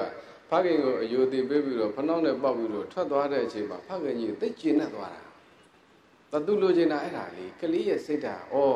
ငါသိမယ်ဆိုရင်သိပြောပြီးတယ်ငါမရှိတဲ့နောက်ဘက်မှာငါသားတွေကနိုင်ငံနဲ့သာသနာကိုကာကွယ်နိုင်စိတ်အပြည့်အဝရှိပြီဆိုတာကိုဖခင်ကြီးစိတ်ထဲမှာကြည်ကျင်နဲ့နဲ့ကြီးလက်ခံသွားတယ်ဗျာတန်ဖိုးမရှိဘူးလားပြပါဗျာ မိဘများသားသမီးတွေကိုစနစ်တကျသင်ပေးခဲ့တာလေးတွေနော်အဖေလုံးတဲ့ပုဂ္ဂိုလ်ဟာသားတွေကိုသူမရှိတဲ့နောက်ပိုင်းမှာသာသနာကိုစောင့်ရှောက်ဖို့နိုင်ငံကိုကြီးပွားတိုးတက်အောင်ဆောင်ရွက်ဖို့တွေသူသင်ပေးခဲ့တယ်အခုတစ်ဖက်မှာရှိနေတဲ့အန္တရာယ်တွေကိုလည်းပဲကာကွယ်နိုင်တဲ့အသည့်ရှိလာပြီဆိုတော့ဖခင်ကြီးကျင့်တတ်တယ်ဒါပေမဲ့သူဒီလောက်နဲ့မရသေးဘူးအမြော်မြင်သိကြည့်တာဖေလုံးတဲ့ပုဂ္ဂိုလ်အမြော်မြင်ကြည့်တဲ့အခါကျတော့သူကသာသနာကိုလည်းကြည်ညိုတယ်အဲ့တော့ ကုသိုလ်ပွဲကြီးတွေနောက်ထပ်ဆက်ကဆက်ကလုပ်တနေ့တော့တန်ခါအပါ600လောက်ကိုနန်းတော်တွေပင့်ပြီးတော့ဘာလို့တာလဲဆိုဆုံးကပ်ပြီးတော့ရဟန်းတန်ခါတွေကိုရှောက်တာရဟန်းနာမထေရီဆရာတော်ကြီးတွေကိုဆရာတော်တန်ခါတော်ရှင်သူမြတ်တို့ဗျာတပည့်တော်မရှိတဲ့နောက်ပိုင်းမှာဒီသားနှစ်ယောက်ဟာနိုင်ငံကိုတာဝန်ယူကြလိမ့်မယ်အုပ်ချုပ်ကြလိမ့်မယ်ဆရာတော်ဘုရားတို့နဲ့တွဲပြီးတော့နိုင်ငံနဲ့သာသနာကိုစောင့်ရှောက်ကြလိမ့်မယ်ညီကိုနှစ်ယောက်ဖြစ်တဲ့အတွက်ကြောင့်မလို့ အကြောင်းအမျိုးမျိုးကြောင့်ပြဿနာတွေတက်ခဲ့မယ်ဆိုရင်ဆရာတော်ဘုရားများဟာအငယ်ကောင်ဖြစ်တဲ့တိတ်တဘက်ကိုလည်းမလိုက်ပါနဲ့ဘုရားအကြီးဖြစ်တဲ့ဂါမဏိရဲ့ဘက်ကိုလည်းဘဲမလိုက်ပဲနဲ့အလေတဲ့တဲ့ကနေဓမ္မလမ်းကြောင်းလေးနဲ့သားမယားကိုစောင့်ရှောက်ပေးတော်မူပါလို့တန်ဃာတော်တွေကိုအနှင်းနေတိတ်အတူယူစရာကောင်းတယ်မိပါတယ်ဟုတ်လားမှန်လားပါဗျာနိုင်ငံကိုအုပ်ချုပ်မဲ့သားနှစ်ယောက်ကိုဘယ်သူကိုအပ်နေတာလဲ တန်ခါတန်ဃာတော်တွေကိုအပ်နေတာအဆုံးမဖို့နဲ့အကယ်၍မြန်ပြဿနာတက်ခဲ့ရဲ့ညီဘက်ကိုလည်းမလိုက်ရဘူးအကိုဘက်ကိုလည်းမလိုက်ပဲနဲ့အလင်တဲ့တဲ့ကနေဓမ္မဝိနည်းနဲ့အညီစောင့်ရှောက်ပေးတော်မူပါလို့တန်ဃာတော်တွေကိုတဖွာဖွာနဲ့အနှင်းရှာတယ်အဲလောက်နဲ့မပြီးသေးဘူးပြိတ္တနန်းတော်ထဲမှာရှိတဲ့မူကြီးမရသေးနာပြီးအကုန်ခေါ်တယ် ဘုန်းကြီးတွေအမကြီးတွေအပညာရှိတွေပရောဟိတ်တွေအားလုံးခေါ်ပြီးတော့ရှိရင်မင်းတို့တွေဟာငါမရှိတဲ့နောက်ပိုင်းမှာညီကိုနှစ်ယောက်နဲ့ပတ်သက်လာလို့ရှိရင်ဘယ်ဘက်မှမလိုက်နဲ့ညီဘက်လည်းမလိုက်နဲ့အကိုဘက်လည်းမလိုက်နဲ့အလျက်တဲ့တဲ့ကနေတရားနဲ့အညီဆုံးဖြတ်ပါဒီလိုလည်းပဲပြိဿရေမှားကြတော်မူတယ်တဲ့အမျောအမြင်မကြည့်လို့မူလားတိတ်အမျောအမြင်ကြည့်လို့နိုင်နော်ဒါလေးတွေဘုန်းကြီးတို့ကသိစေကြီးတို့ဒီသမိုင်းကြောင်းကိုပြောပြနေတာအဲ့တော့အဲ့လိုအနေနဲ့ခါကြတော့ ဘာဖြစ်လို့လဲဆိုတော့ညီဘက်မှာလည်းပိဋကရှိလိမ့်မယ်သူတာဝကရှိမယ်အကိုဘက်မှာလည်းသူပိဋကရှိတယ်အဲ့တော့ညီကိုနှစ်ယောက်ဟာပြဿနာဖြစ်လာရင်ဘာပဲဖြစ်ဖြစ်ဘက်လိုက်ပြီးတော့ဆုံးဖြတ်လိုက်ရင်အမှားယွင်းနေဖြစ်မှာဆိုလို့တောင်းဝရှိတဲ့ပုံကိုယ်တွေကိုမမားစီနဲ့အလေတဲ့တဲ့ကနေဆုံးဖြတ်ညီမရင်မားတဲ့အတိုင်းလို့အကိုမရင်မားတဲ့အတိုင်းဆုံးဖြတ်ဒီလိုသွားတာအဲ့လိုအနှင်းပြီးတော့သားနှစ်ယောက်ကအခု7နှစ်ကနေအရွယ်လေးတွေရောက်ရောက်လာတဲ့အခါကျတော့အဲ့သားတွေအတွက်ပညာဆုံးအကုန်သင်ပေးတယ် နော်တတ်တင်တတ်တိုက်တဲ့အထာရတပညာရည်တွေပြည့်စုံအောင်သင်ပေးတယ်ဒါတော့နဲ့မကျင်တဲ့ဒီကိုသားတွေကိုခစားဖို့ဆိုပြီးတော့နိုင်ငံထဲမှာလူငယ်ဖြစ်တဲ့အတွက်ကြောင့်မလို့လူငယ်ထဲမှာတတိုင်းပြည်လုံးအတော်ဆုံးလူငယ်တွေကိုရွေးထုတ်လိုက်တာ10ယောက်ရွေးထုတ်တယ်ဘယ်နှယောက်10ရောက်ပါအတော်ဆုံးခေါင်းဆောင်ဖြစ်တဲ့လူငယ်တွေကအတော်ဆုံးအရေးချင်းရှိတဲ့လူငယ်ဆရာကိုရွေးပြီးတော့ပညာတွေသင်ပေးပြီးတော့တယောက်တယောက်ကိုလူ1100တပည့်တာဝကမွေးခိုင်းတာဆယ်ယောက်ဆိုတော့လူဘယ်လောက်ရ 1000နဲ့1000ရနော်ခေါင်းဆောင်လူငယ်တယောက်မှလူပေါင်း1100 1100နဲ့10ယောက်ဆိုတော့1000နဲ့1000အဲ့ဒီ1000 1000ကစောစောကညီကိုနှစ်ယောက်ကိုခစားခိုင်းတာဒီလိုဖွဲ့စည်းခဲ့တာအဖေကြီးရဲ့ဖွဲ့စည်းပုံဟာတစ်ဖက်မှာဘာဖြစ်နေလဲအန်တရယ်ကအရန်ကြီးနေတာလေသူကိုယ်တိုင်လည်းပဲဖခင်ကြီးကတိုက်နေရတာဒါဆက်တိုက်ရအောင်မှာသူသားတို့လက်ထက်လည်းဆက်တိုက်ရမှာနောင်ဆက်ဆက်တိုက်နေရမှာအဲ့တော့နိုင်အောင်တိုက်နိုင်ဖို့အတွက် အန်တရယ်ကိုကာကွယ်နိုင်ဖို့အတွက်ကစနစ်တကျပုံစံချမှရမယ်ဆိုဗျူဟာမျိုးစုံဖခင်ကြီးနီးလန်းနေချပေးခဲ့တာအခုသားနှစ်ယောက်ကိုခစားဖို့လည်းပဲစနစ်တကျလုပ်ပေးခဲ့တယ်ပညာတွေသင်ပေးပြီးတော့ငါမရှိတဲ့နောက်ပိုင်းမှာငါလိုနိုင်ငံနဲ့သာသနာကိုစောင့်ရှောက်နိုင်တဲ့သားကောင်းယရနာဖြစ်ကိုဖြစ်ရမယ်ဆိုတဲ့စိတ်ဓာတ်နဲ့ဖခင်ကြီးသင်ပေးခဲ့တာတဲ့ပညာတွေကလည်းတက်လာတယ်လူငယ်ကလည်းလူငယ်ဆိုတော့ပြိတ္တကြီးတက်ကြွတဲ့စိတ်ကသူ့မှာအမြဲတမ်းရှိတယ်။ နောက်ငယ်ငယ်တည်းကခံစားချက်ဆိုတာရှိတယ်။ဘာခံစားချက်လဲငါတို့အေးအေးချမ်းချမ်းနေနေတဲ့ငါတို့တိုင်းပြည်ကိုလာလာဒုက္ခပေးတဲ့ဒီမိစ္ဆာဒိဋ္ဌိခြေကလာတွေကိုငါတိုက်ကိုတိုက်မယ်ဆိုတဲ့စိတ်ကဘယ်ရွယ်တဲ့ကဆယ်နှစ်ဆယ်နှစ်နေတဲ့ကရှိနေတဲ့ခါကျတော့ပညာတက်လာလေလေအရေးချင်းရှိလာလေအဲ့စိတ်တက်ကိုသူကအကောင့်ထဲပေါ်ခြင်းလာတာဒါကြောင့်မလို့နောက်ဆုံးတော့အရွယ်လဲရောက်ပညာလေးတက်တက်လာတော့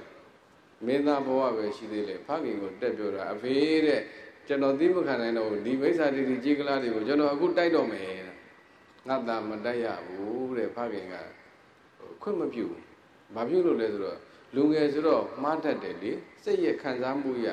တအားနေကံပြီလို့ရင်အသက်အန္တရာယ်ဖြစ်နိုင်တော့ဖခင်ကသူ့ကိုအရေးချင်းနဲ့အတွေ့အကြုံလေးရှိလာအောင်ထားနေသေးတာဒါပေမဲ့သားလုပ်တဲ့ပုဂ္ဂိုလ်ကတိတ်ပြီးတော့မခံစားနိုင်ဘူးအဲ့တော့ဒီအန္တရာယ်ကိုသူကာကွယ်ခြင်းနဲ့စိတ်တွေအပြည့်အဝရှိနေတော့ တိုက်မယ်တိုက်မယ်ရွေဒုတိယအကြိမ်ထပ်ပြောတောင်းဆိုတဲ့ဖခင်ကြီးခွင့်မပြု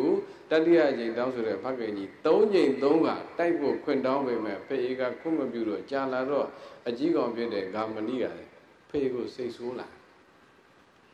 အဖေကငါတိုက်ငါမှတိုက်ခိုက်နိုင်တဲ့စွမ်းရည်ရှိတယ်တိုက်ပါမယ်ဆိုတော့ကိုဖခင်ကြီးကခွင့်မပြုတာဒေကြပေါ့အဖေကကြောက်နေလို့ပဲနေမှာ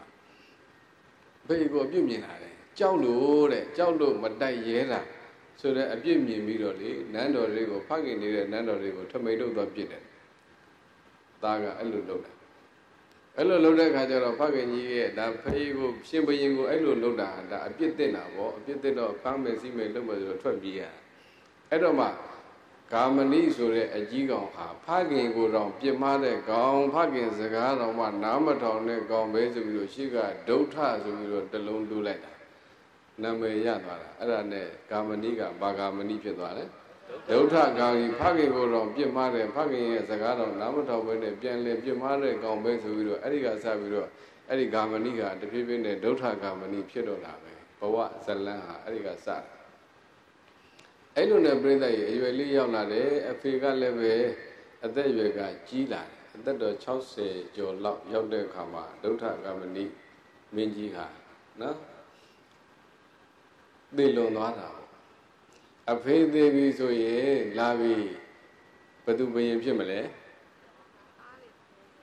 သားထဲမှာနှစ်ယောက်ရှိတဲ့ကမှာဂါမဏိရဲ့တိတ်တရဲ့အကြီးကောင်နဲ့အငယ်ကောင်တွေဘယ်သူကရှင်ဘယင်ဖြစ်မှာအဲအကြီးကောင်ကရှင်ဘယင်ဖြစ်မလေဒါဟာသိကြတယ်ပြည့်လို့မလို့ဘူးဒါသူ့ရဲ့ထုံးတန်းစင်လာပဲအဲ့တော့အကြီးကောင်ကဘယင်ဖြစ်မယ်ဆိုတော့ဒုဋ္ဌဂမဏိကဘယင်ဖြစ်မဲ့လူသူကဖခင်ရဲ့ရှိမှလည်းပဲ ဂတိစကားတွေရံမဖြစ်ပါဘူးဆိုတဲ့ဂတိကိုလည်းပေးခဲ့ပြီးသားဆိုတော့သူကပြီးပြီပေါ့ဇလန်းကဒါပေမဲ့ပြိဿရဲ့အငယ်ကောင်ရဲ့နောက်မှာခစားနေတဲ့မူကြီးမရသေနာပြီးနဲ့သူ့ကိုမြောက်ထိုးပင့်ကောလုပ်နေလူကအငယ်ကောင်ကိုမြောက်ပေးတာတဲ့တို့လူတွေကမြောက်ပေးရင်အကုန်လုပ်တယ်နော်ဘာမှကိုမတွေးတော့မစင်ကျင်တော့ဘူးလူကြီးလူငယ်အကုန်လုံးပဲဟုတ်လားမင်းသားတဲ့ညီကိုလျောက်ကအသက်ကဘလောက်ပဲกว่า နှစ်နှစ်ပဲกว่าတဲ့အခါကျတော့အကိုသာဘယင်လောက်ရင်သူတေအောင်ဆောင်းရမယ်ဆိုရင်အကြာကြီးဆောင်းရမှာတဲ့အဲ့တော့ဟိုဘုတ်ကစဉ်းစားလာပြီလေမမှန်ဘူးလားအဲ့တော့အရှင်မင်းသားအလှည့်ရောက်ဖို့ဆိုရင်အကြာကြီးဆောင်းအောင်ပါတဲ့သူကအသက်ကြီးမြအသက်80 80တိနေရရင်ရှင်မင်းသားအလှည့်ကြရင်ဘာမှကြာကြာနေရမှာမဟုတ်တော့ဘူးဒါကြောင့်မလို့မြန်မြန်တက်ပြီးသိမ့်လိုက်တာကောင်းမယ်တဲ့မြောက်ပေးတယ်ဗျအောက်ကလူတွေ အောက်ကလူတွေမြောက်ပေးတယ်အထက်ကလူကဘာလျှောက်လို့လဲအကုန်လျှောက်လျှောက်လို့တော့လွဲမကုန်ဘူးလားဒါမျိုးတွေလည်းအများကြီးရှိတတ်တယ်နော်အဲ့တော့သူကသူသွားနေတဲ့ဇလန်းမှာအောက်ကဒီမူကြီးမရသေနာပရိနဲ့သူ့ကိုခါစားတဲ့ပုဂ္ဂိုလ်ကညီငယ်ကောင်ကိုဒီလိုပြောပါများတော့အငယ်ကောင်ကစဉ်းစားလာပြီဟုတ်တယ်အကိုသာဘယင်ဖြစ်ပြီးတော့သူသေတဲ့ဒီငါစောင့်ရမယ်ဆိုရင်ငါအလဲကြရင်ငါကြာကြာနေရမှာမဟုတ်ဘူးသူနဲ့ငါနဲ့ကနှစ်နှစ်လောက်လေးကွာတဲ့အခါမှာ ဒါဆိုရင်တော့မဖြစ်တော့ဘူးဆိုတဲ့စိတ်ဝင်လာတယ်မြန်မြန်အကောင်းတယ်ပေါ်မရမယ်ဟိုမှာတိုင်းပြည်ကအနှင်းတော့မယ်လေအကိုကိုအနှင်းမှာဖြစ်ချင်းကြောင့်ငါတို့မြန်မြန်တိုက်ယူကြအောင်ဆိုပြီးတော့ပြိဿရေဘာလုပ်လဲဆိုတော့အကိုကိုပြန်တိုက်ဖို့လုပ်တယ်တဲ့ဖခင်ရှင်မှာထားခဲ့တဲ့ဂတိစကားကိုဘာလုပ်လိုက်ပြီဖြတ်ပလိုက်ပြီဘာကြောင့်လဲအာနာကြောင့်ပြိဿရေဘာအတွက် အာနာနဲ့ပတ်သက်လာရင်လူတွေကဘယ်သူမှမယူမဆိုင်တော့ဘူးနော်အစာတတတ်တို့သိတယ်မို့လားအဖေကိုဘာလုပ်ခဲ့တယ်အာနာအတွက်နဲ့တတ်ခဲ့တာဒါအဲ့ဒီအဲ့ဒီပုံစံမျိုးကိုဝင်သွားတာအဲ့တော့အဖေသေးအောင်မဆောင်နိုင်ဘူးအဖေသေးမှဘယင်ဖြစ်မယ်ဆိုရင်ကြားတယ်မြန်မြန်တတ်ပြီးတော့ဘယင်လုံးလိုက်ပါတော့ဆိုတဲ့မြောက်ထိုးပင်ကောကောင်းတွေမြောက်လုံးလို့အဇာတတဟာဖခင်တတ်ခဲ့တာမဟုတ်ဘူးလား အခုအငယ်ကောင်ကိုပြောနေပြီညီကိုနှစ်ယောက်အသက်ချင်းမကွာတော့အကိုကိုတတ်ပြီးတော့ဘယင်လုံးမှမြန်မြန်အုပ်ချုပ်လို့ရမှာမြန်မြန်ဘယင်ဖြစ်မှာမို့လို့မြန်မြန်သာလှုပ်လိုက်ပါတော့ဆိုတဲ့အခြေအနေကနေအခုဖခင်စကားရဲ့သစ္စာပေါ်မှာဖောက်ပြပြီးတော့ပြိဿရဲ့တိုင်းပြည်ကိုအုပ်ချုပ်ဖို့လှုပ်တော့အကိုနဲ့ညီနဲ့နှစ်ဖက်ကွဲလို့စစ်ပွဲတွေဖြစ်ကြတယ်တဲ့တိုင်းသူပြည်သားတွေဒုက္ခမရဘူးလား အဲ့တော့လျှက်တဲ့ပြက်ဒီဘက်ကစီစဉ်လိုက်တဲ့အခြေအနေတခုကိုအကိုလှုပ်တဲ့ပုဂ္ဂိုလ်ကအဲ့လောက်မထင်ထားဘူးလေမထင်ထားတော့သူ့မှာပြင်ဆင်ခြင်းမရှိတဲ့ခါကျတော့နောက်ဆုံးတော့ထွက်ပြေးရတာစစ်ပြေးဘဝကိုရောက်ရတာအဲ့တော့ဖခင်ဖွဲ့စည်းခဲ့တဲ့စနစ်တကျဖွဲ့စည်းခဲ့တဲ့ဖွဲ့စည်းပုံမှန်သမျှအလုံးပြတ်သွားတယ်အာနာလိုချင်တဲ့အတွက်ကြောင့်မို့လို့ဖွဲ့စည်းပုံတွေကိုအကုန်ဖြစ်ဖြစ်တာမှန်ရင်လားဒါတွေသတိထားဖို့လိုတယ်နော်အခုကြည်သာဖခင်ချခဲ့တဲ့ပလန်လေး နော်တားမှာခစားဖို့လူတွေတောင်းချပြီးတော့ခစားပြီးတော့တိုင်းပြည်ကိုကာကွယ်ဖို့ဒါပေမဲ့တစ်ဖက်မှာညီကိုနှစ်ယောက်ကအာနာလိုချင်တဲ့အတွက်ကြောင့်မို့လို့ဖခင်ချမှတ်ခဲ့တဲ့ဖွဲ့စည်းပုံတွေအလုံးပြတ်သွားတယ်အလုံးပြတ်သွားတယ်အဲ့တော့အကုန်လုံးတဲ့ပုဂ္ဂိုလ်ကတိုင်းပြည်ကနေထွက်ပြေးပြီးတော့ဒီကောင်ကြီးစံငါတို့ညီကိုနှစ်ယောက်ထားခဲ့တဲ့ဂတိစကားကိုသူ့အဖေရှိမှထားခဲ့တဲ့ဂတိစကားအဖေမရှိတဲ့နောက်ပိုင်းမှာဒီကောင်ဂတိပြစ်ပြီး ဘာပဲဖြစ်ဖြစ်ဒီညီကိုငါပြန်တက်ပြီးတော့ဆုံးမမှရမယ်ဆိုပြီးတော့အကိုကတိတ်ထက်လဲထက်တယ်ကျွမ်းလဲကျွမ်းကျင်တယ်ပညာကလည်းတတ်တာရှင်ပြေဘဝနဲ့တိုင်းပြည်ကိုထွက်ပြေးပြီးတော့သူ့ရဲ့အင်အားတွေပြန်စုပြီးတော့တိုးအောင်ပြောလိုက်ရင်ညီကိုပြန်တိုက်ဖို့လုပ်ရတာဘယ်ရင်မဖြစ်ခင်ဟိုဘက်ကလည်းသူ့ကိုမိအောင်ဖမ်းတတ်ရင်တတ်မယ်အချုပ်တဲချရင်ချမယ်ပြီးရင်သူကရှင်မရင်လုပ်မယ်အငယ်ကောင်ကအဲ့တော့သူ့ရဲ့အုပ်စုတွေကဝိုင်းပြီးတော့တိုက်ကြခိုက်ကြဖို့လေသူ့တက်ကိုတက်ဖြစ်တဲ့အချိန်မှာ အကိုကထွက်ပြေးခြင်းဖြင့်နောက်ဆုံးတော့တိုင်းပြည်ရဲ့တနေရာမှာတောခိုပြီးတဲ့အခါကျတော့အင်အားတွေလက်နက်တွေစုစည်းပြီးတော့တေချာစနစ်တကျနဲ့ချက်ချင်းပြင်ဆင်ပြီးတော့ပြန်တိုက်တာအငဲကောင်ထွက်ပြေးရတဲ့အဆင့်ကိုပြန်ရောက်တာကြောင်းပြန်ဖြစ်သွားအားချင်းကွာတယ်ပညာချင်းကွာတယ်အဲ့တော့ဒုဋ္ဌဂမိနဲ့အောစုဟာ ဒီညီဖြစ်တဲ့တိတ်တအုပ်စုကိုပြန်လဲတိုက်ထုံရင်းဖြင့်တိတ်တဟာနောက်ဆုံးတော့သူဘလို့မှပုံချောင်လို့မရတော့ထွက်ပြေးရတဲ့အဆင့်ကိုရောက်သွားပြန်ပြီးတော့ခံမတိုက်နိုင်တော့ခံမတိုက်နိုင်ဘဲနဲ့ပြိဿရေထွက်ပြေးတော့ပြင်းပြင်းနဲ့ပြေးစီရနေရာမရှိတော့လေဘယ်တဲ့ပြေးတယ်ဒီနဲ့ဖုံကြီးเจ้าဝင်ပြေးတာမင်းသားတိတ်တဘယ်ထွက်ပြေးအရှင်ဘုရားတော့တပည့်တော်ကေတော်မူပါအောင်ဘုရားတပည့်တော်အကိုတော်တပည့်တော်ကိုလိုက်တတ်နေပါပြီလိုက်ဖမ်းနေပါပြီစောင့်ရှောက်တော်မူပါဆိုပြီးတော့ကြောင်းတဲ့ကိုဝင်ပြေတော့ဘုန်းကြီးက ကဲလာလာလာဆိုပြီးတော့ဘယ်ရောက်တော့သူအိတ်တဲ့ဂရင်အောက်ကိုဝင်ပုန်းခိုင်းတာမင်းသားဒိဋ္ဌဘယ်အောက်ရောက်ဂရင်အောက်ရောက်တဲ့အခါကျတော့ဘုန်းကြီးကအဲ့ဒီဂရင်ပေါ်မှာဘောသင်္ကန်းလေးဖြန့်အုပ်ထားတယ်သင်္ကန်းလေးနဲ့ဂရင်ကိုအုပ်ထားတယ်အဲ့တော့သူဝင်ဒီကျောင်းတွေကိုဝင်ပြေးတာလေမြင်းတဲ့ဒုဋ္ဌကမဏိကမြင်တဲ့အခါကျတော့ဘုန်းကြီးကျောင်းကြီးကိုအဲ့ဒီကျောင်းဝိုင်းကြီးကိုသူ့တက်တင်နဲ့အကုန်လုံးဝိုင်းတာ ဝိုင်းထားပြီးတော့ဆရာတော်ကိုရောက်တယ်အရှင်ဘုရားငမိုက်သားတိတ်တာဖခင်စကားနားမထောင်ဂတိပြတ်ပြီးတော့တိုင်းပြည်ကိုဒုက္ခပေးတယ်ငမိုက်သားတိတ်တာကိုတပိတော့ဆုံးမဖို့အတွက်လမ်းဖမ်းတာပါအရှင်ဘုရားကြောင်းတွေကိုဝင်ပြေးတယ်တိတ်တာကိုဗမာထားလဲပြောပါဆိုတော့လေဘုန်းကြီးကဗာပြောတယ်အေးမင်းညီတိတ်တာဂရင်ပေါ်မှာမရှိဘူးကွာဘယ်မှာမရှိလဲရှိတာကဘယ်မှာလဲဘုန်းကြီးကဗာပြောတယ် လိန်ညာရောက်သလားမရဘူးနော်စောစောကပြောတယ်ဖခင်ကြီးကအဖေလှုပ်တဲ့ပုဂ္ဂိုလ်ကယဟန်တန်ခါကိုလျှောက်တာတပည့်တော်ရဲ့သားညီကိုနှစ်ယောက်နဲ့ပတ်သက်လာရင်ဓမ္မဝိနည်းနဲ့အညီဘယ်ဘက်မှမလိုက်ဘဲနဲ့စောင့်ရှောက်တော်မူပါတန်ခါတော်တွေကလိုအပ်ရင်စောင့်ရှောက်တယ်ဒါပေမဲ့ဘယ်တော့မှဓမ္မဝိနည်းနဲ့အစွန်းထွက်တာမရှိဘူးဒီကနေ့ဘုန်းကြီးတို့အမျိုးဘာသာသာနာစောင့်ရှောက်ရေးလုပ်တာအစွန်းထွက်တဲ့နီလမဟုတ်ဘူးဒါကိုဒီကနေ့ပါတီတဲ့ပုဂ္ဂိုလ်ဆိုကြီးတဲ့ပုဂ္ဂိုလ်တွေကအဖြစ်ပြောနေကြတယ် အဖြစ်ပြောနေကြတယ်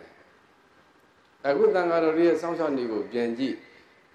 ညီဖြစ်တဲ့ပုဂ္ဂိုလ်ကိုလည်းပဲစောင့်ရှောက်ခြင်းတယ်အကိုဖြစ်တဲ့ပုဂ္ဂိုလ်ကိုလည်းပဲစောင့်ရှောက်ခြင်းတယ်လိန်လဲမလိန်ခြင်းဘူးဒါကြောင့်မလို့ဝင်လာတာသိပေမဲ့မင်းကြီးတိတ်တာငါကလေးပေါ်မှာမရှိဘူးလို့ပြောတော့ဟိုပုဂ္ဂိုလ်ကကလေးအောက်မှာရှိမှလည်းသိတယ်အကိုလုပ်တဲ့ပုဂ္ဂိုလ်ကသိပြီးတော့ကရင်အောက်ကနေဆွဲထုတ်ပြီးတော့ဖမ်းမယ်တတ်မယ်စီးမယ်လုပ်လို့ရှိရင်တန်ဃာကိုမယုံသေးရရောက်မှဖြစ်ချင်းကြောင့်ငါမလုပ်တော့ဘူးဆိုပြီးတော့ဒုဋ္ဌကမဏိကနောက်ပြန်ဆုတ်သွားတယ် ဘုန်းကြီးကျောင်းထဲမှာယုံရင်ဆံကမဖြစ်ရှင်ဘူးဆရာတော်ကြီးရဲ့ရှေ့မှာယုံရင်ဆံကကိုယ့်ကိုရံပြုတ်ပြီးတော့တတ်မဲ့အန္တရာယ်ဖြစ်တဲ့ပုဂ္ဂိုလ်ကိုတော့မှတန်ဃာရှေ့မှာရိုင်းရိုင်းဆိုင်ဆိုင်အမူအရာမပြခြင်းတဲ့အတွက်ကြောင့်မလို့ဒုဋ္ဌကမဏိကနောက်ပြန်ဆုတ်သွားတယ်တဲ့ကြည်စံဘယ်လောက်ထိတန်ဖိုးရှိတဲ့သားတွေလဲဖခင်သင်ပေးခဲ့တဲ့ကျေးဇူးကြောင့်ယရနာသုံးပါးကိုတန်ဖိုးထားတာသာသနာနဲ့တန်ခါကိုတန်ဖိုးထားတာမှန်ရဲ့လားအဲ့ဒီစိတ်ဓာတ်မျိုးတွေဘုန်းကြီးတို့သိစေခြင်းတို့ဒါတွေပြောပြနေခြင်းဖြစ်တယ် အဲ့တော့မဖမ်းတော့ပဲနဲ့ဩဆရာတော်တွေကငါညီကိုစောင့်ရှောက်တယ်ငါကလည်းပဲသိပေမဲ့တန်ခါရှိမှယုံရင်စကားမဖြစ်ခြင်းဘူးငါရဲ့အမူအရာတွေရိုင်းဆိုင်တဲ့အမူအရာကိုတန်ခါတော်လေးရှိမှဘယ်တော့မှမပြဘူးဆိုပြီးတော့အလုံးနောက်ပြန်ဆုပ်ပြီးတော့မင်းတို့ဟဲ့ကျောင်းဝဲကြီးကိုဝိုင်းထားလိုက်တဲ့ငါကိုယ်တိုင်လည်းပဲစောင့်နေမယ်ကျောင်းအပဝတ်ကနေကျောင်းရဲ့အုတ်တိုင်းကနေလွတ်မြောက်သွားပြီဆိုတော့အဲ့ဒီကောင်ကိုဖမ်းမယ်ကျောင်းထဲမှာတော့ဘယ်တော့မှမလုပ်ဘူးအဲ့ဒါနဲ့တက်ကြီးတစ်ခုလုံးပြိတဲ့ကျောင်းဝန်းလေးကိုဝိုင်းထား ဝိုင်းထားပြီးတော့ဒေါရကမရိရဲ့ဒီညီတော်တိတ်တဟာအပြင်ထွက်ဖို့လုပ်တာဘယ်ဘက်ကပဲထွက်ထွက်သူကထွက်ရင်မလုပ်တော့မှာဖမ်းပါလေဖမ်းမဲ့အခါကျတော့ထွက်ရင်တေချာဘောအခန်းဖမ်းခံမှာဖြစ်ချင်းကြောင့်ထွက်လဲထွက်ချင်းတယ်ဖမ်းလို့လဲမိမှလည်းကြောက်တဲ့ခါကျတော့ဆရာတော်တွေကိုထပ်လျှောက်တယ်တပည့်တော်ကိုအပြင်ရောက်အောင်စောင့်ရှောက်ပေးပါဦးတဲ့တန်ဃာတော်တွေကိုနောက်ဆုံးတော့ဒုက္ခရောက်လာရင်ဘုန်းကြီးပဲပြေးကတ်တာပဲမို့လား အခုကြည်တဲ့တပည့်တော်ကိုစောင့်ရှောက်ပါအောင်ဘုရားဆိုတော့ဘုန်းကြီးတွေကစဉ်းစားတယ်ငါဘယ်လိုစောင့်ရှောက်ရမလဲဒီเจ้าတက်ကထွက်ရင်ဘယ်လိုပဲထွက်တဲ့ဒီကောင်ထွက်ရင်မိမှာပဲအဲ့တော့နောက်ဆုံးနီလန်တစ်ခုလုပ်တယ်ဘိုးတော်ကဘုန်းကြီးပဲတည်တည်လူပဲတည်တည်လူသေးရင်လဲအဲကပ်ပေါ်နေပြီးတော့ထန်ထုံပိတ်ပြီးတော့ပြီးထမ်းပြီးအတုပချမိသွားရှိုးလိုက်တာပေါ့တန်ဃာတော်တွေတည်ရင်လည်းပဲ အဲ့တော့ကတ်နဲ့ထန်ထုံ၄ပါးကရှင်းတော့နှစ်ပါးစီနှစ်ပါးစီထမ်းပြီးတော့အပေါ်ကသင်္ကန်းပတ်ပြီးတော့မြေကန္နာသွားမိရှို့ပြီးတော့ပူဇော်လိုက်တာဒါအတုပပြီးသွားတာ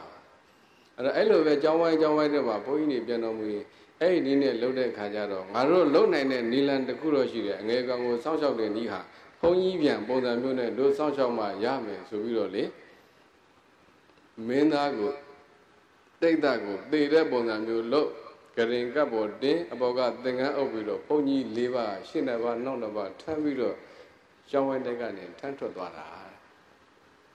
ထမ်းထွက်သွားတဲ့အခါကျတော့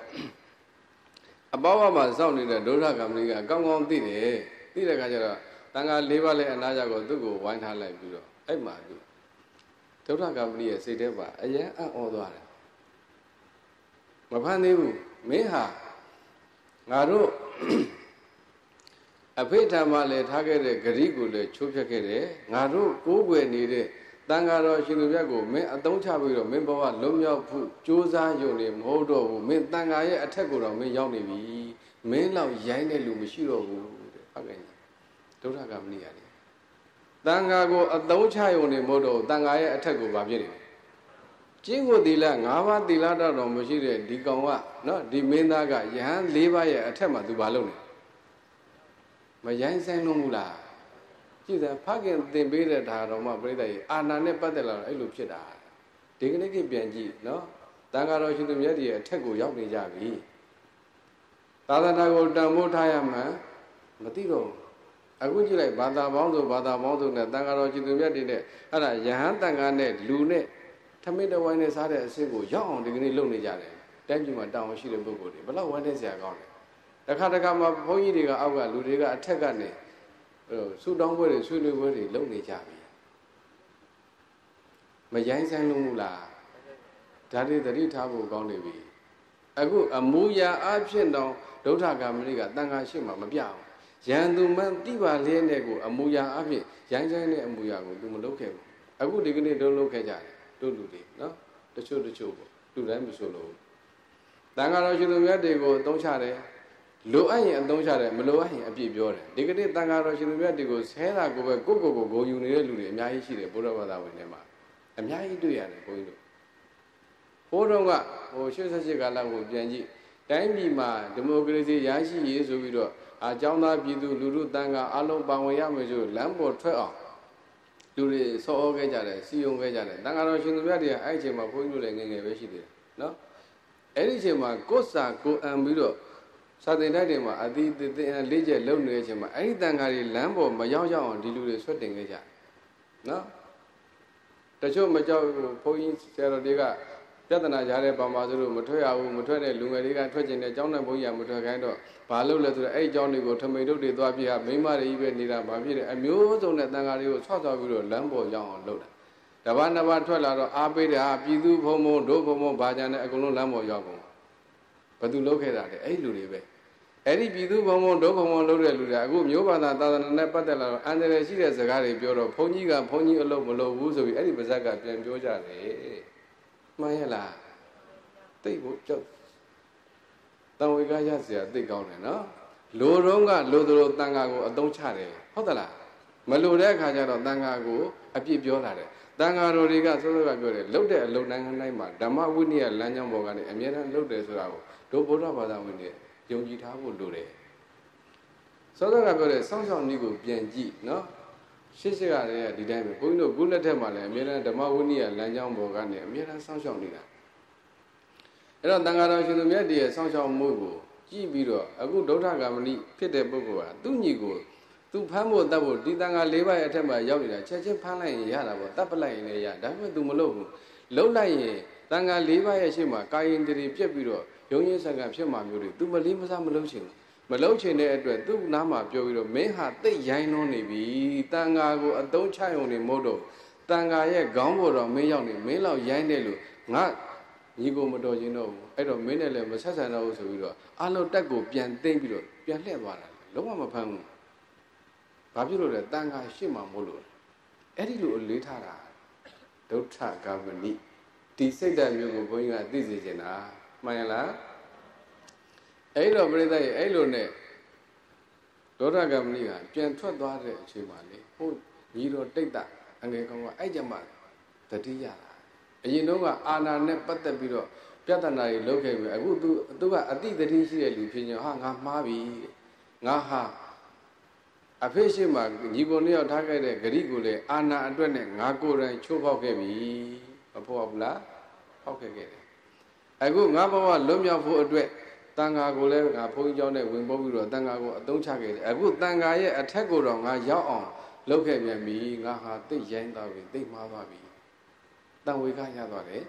တတိရသွားတယ်တော်ပြီနောက်ဒီလိုမျိုးငါဘယ်တော့မှမလုပ်တော့ဘူးဆိုအဲ့မှာအကိုရှိကိုသွားပြီးတော့တောင်းပန်တယ်မာမန်သိပြီနောက်ဘယ်တော့မှလည်းမမပါဘူးညီကိုနှစ်ယောက်လက်တွဲပြီးတော့ဖခင်ချမှတ်ခဲ့တဲ့ဖွဲ့စည်းပုံကိုမဖြတ်ပါဘူးအဲ့ဒီတိုင်ရှေ့ဆက်ပြီးတော့ ကာကွယ်ပါမယ်စောင့်ရှောက်ပါမယ်အပေါ်ကအကိုကတိုင်းပြည်အုပ်ချုပ်ပြီးတော့ညီတို့အတူတိုင်းပြည်ရဲ့အန္တရာယ်မှန်သမျှကိုကာကွယ်ပါမယ်ဆိုတဲ့ဂတိပေးပြီးတော့ညီကိုနှစ်ယောက်ပြန်တက်သွားတယ်ဗျာတန်ဖိုးမရှိဘူးလားဖခင်ချမှတ်ခဲ့တဲ့ဖွဲ့စည်းပုံတွေကိုပြိတ္တရဲ့ညီကိုနှစ်ယောက်ပြန်လည်ပြီးတော့မလုပ်တာလေပုံစံတကြပြန်တိဆောက်ပြီးတော့အန္တရာယ်မှန်သမျှကိုမလုပ်မှာ ကာကွယ်ကြမယ်ဒီကနေ့ကျတော့ဖခင်ထားခဲ့တဲ့ဖွဲ့စည်းပုံကိုပြန်ဖြတ်ပြီးတော့ထင်ရလုံးဖို့ကြိုးစားတာတွေလည်းဒီကနေ့အများကြီးတွေ့ရပြန်ပြီဟုတ်လားရှိစေတော့အခုကြည်စံဒီကိုနှစ်ယောက်တက်သွားကြပြီပြဿနာမဖြစ်တော့အဲ့တော့ဒုဋ္ဌကမဏိဟာရှင်ဘရင်ဖြစ်တယ်ညီတော်က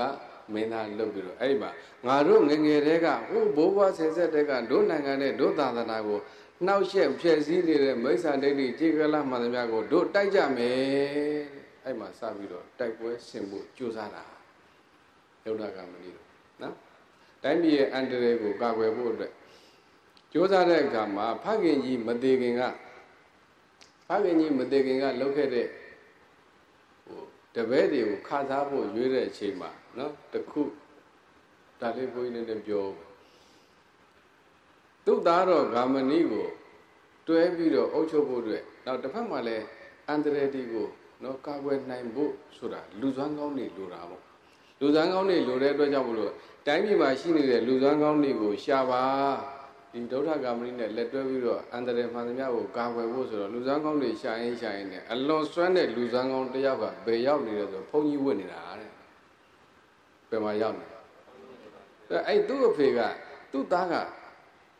အလွန်အစွမ်းထက်လွန်းတယ်ပေါ့တော်လဲတော်လွန်းတဲ့ခါကျတော့ ဒီကောင်ကြီးလာရင်ငါသားကြီးလာလို့ရှိရင်တေချာပေါ့ဒီပညာနဲ့ဒီအစွမ်းနဲ့ဆိုလို့ရှိရင်ဘယင်းထံမှာတေချာပေါ့ခစားရလိမ့်မယ်တဲ့ဘယင်းထံမှာခစားရတယ်ဆိုတာဟာအမြဲတမ်းမလုံခြုံဘူးတစ်ခါတစ်ခါမှအန္တရာယ်ရှိတယ်ဖခင်ကအန္တရာယ်ကြားတဲ့ကို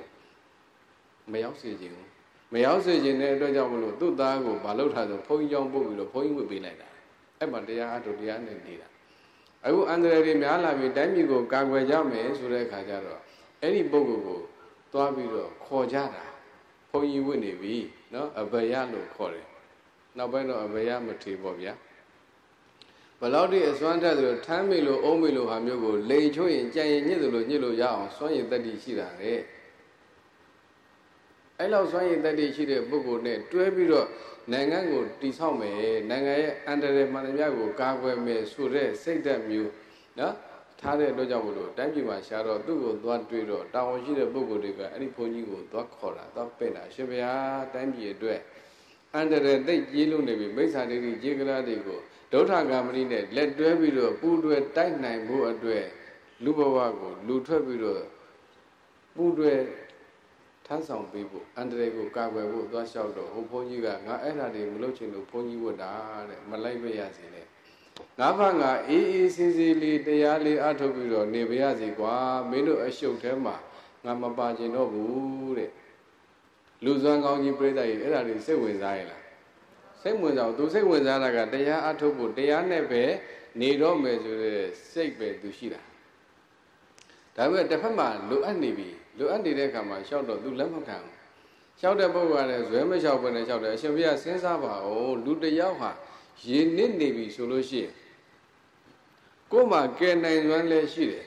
ကယ်လို့လည်းရနိုင်ပါလျက်နဲ့မကယ်ဘဲနဲ့ကြည့်ပြီးတော့အသေးခံသွားအသေးခံပေးမှလားအဲ့ဒါကို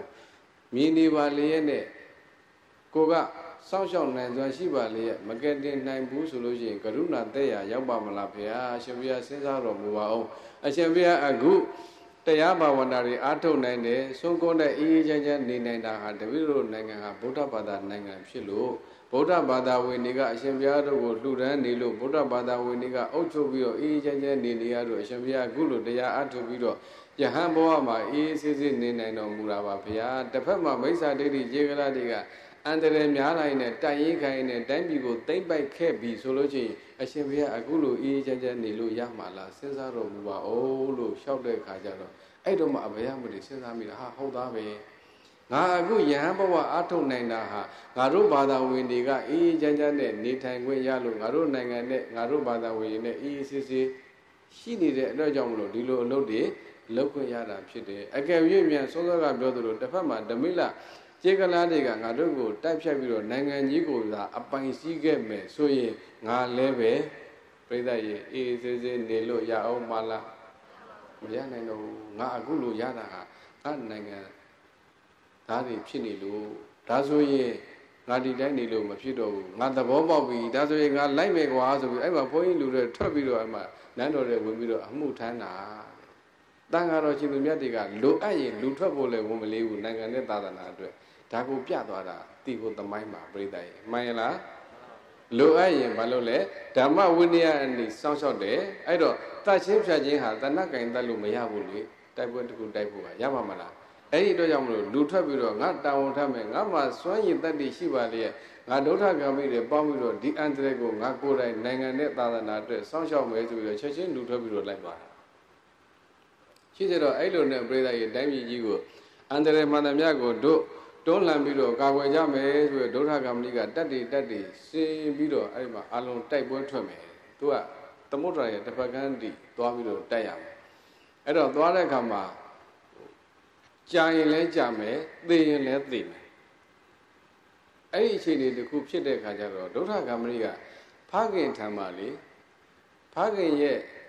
အဆုံးမခံပြီးတော့တိတတ်တဲ့အရွယ်ကစပြီးတော့သူဟာအမြဲတမ်း ကုသိုလ်ကောင်းမှုတွေလုပ်တဲ့နေရာမှာဘလောက်တိလုပ်တယ်လဲဆိုရင်နဲ့နဲ့မိုးလင်းလို့သူ့ပါဇာတဲကိုအစာစားတော့မယ်ဆိုရင်သူများကိုမလူပဲနဲ့ယဟန်တန်ဃာကိုမလူပဲနဲ့ဥဥဖြားဖြားဘယ်တော့မှမစားဘူးလေဘဝတစ်လျှောက်လုံးတန်ဃာကိုအမြဲတမ်းဥထိတ်ထားတယ်မိဘရဲ့ကျေးဇူးပဲမှန်ရလားအခုတိုက်ပွဲထွက်မယ်ဆိုတော့တန်ခါလည်းမရှိဘူးစစ်မြေပြင်ထဲမှာသွားရမယ်ခါကျသူကစိတ်မကောင်းဖြစ်တယ်ငါတိုက်ပွဲထွက်ရင်တန်ခါတော်ရှင်သူမြတ်တွေကိုငါဖူးလို့လှူလို့လည်းရမှာမဟုတ်တော့ဘူးအဲ့ဒီအတွက်ဆ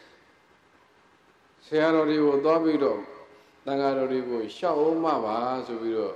မဟာစီရီကျောင်းထဲမှာရှိတဲ့တန်ခါတော်တွေကိုသွားပြီးတော့ရှောက်တာဆရာတော်တန်ခါတော်ရှင်သူမြတ်တို့ဗျာဆရာတော်တို့အတွက်ကောတပည့်တော်နိုင်ငံနဲ့သာသနာအတွက်ကာကွယ်ဖို့ရန်အတွက်တပည့်တော်ကိုယ်တိုင်စစ်ထွက်ပါတော့မယ်တဲ့ဘယ်လောက်ကြာမယ်မှမသိတယ်လို့သိမယ်ရှင်းမယ်ဆိုတာလဲတပည့်တော်ကိုယ်တိုင်မသိပါဘူးခင်ဗျာဒါကြောင့်မလို့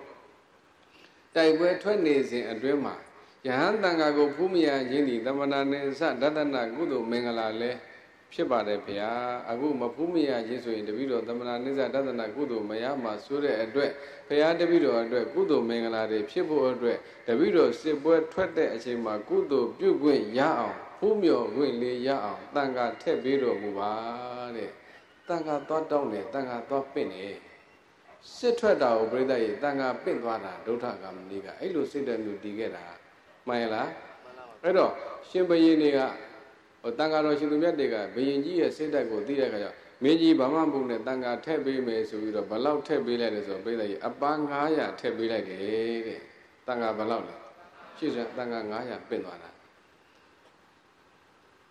စစ်ပွဲရှိတဲ့စစ်မြေပြင်တွေကိုတန်ဃာတွေကိုပင့်သားတာလွယ်ရဲ့လား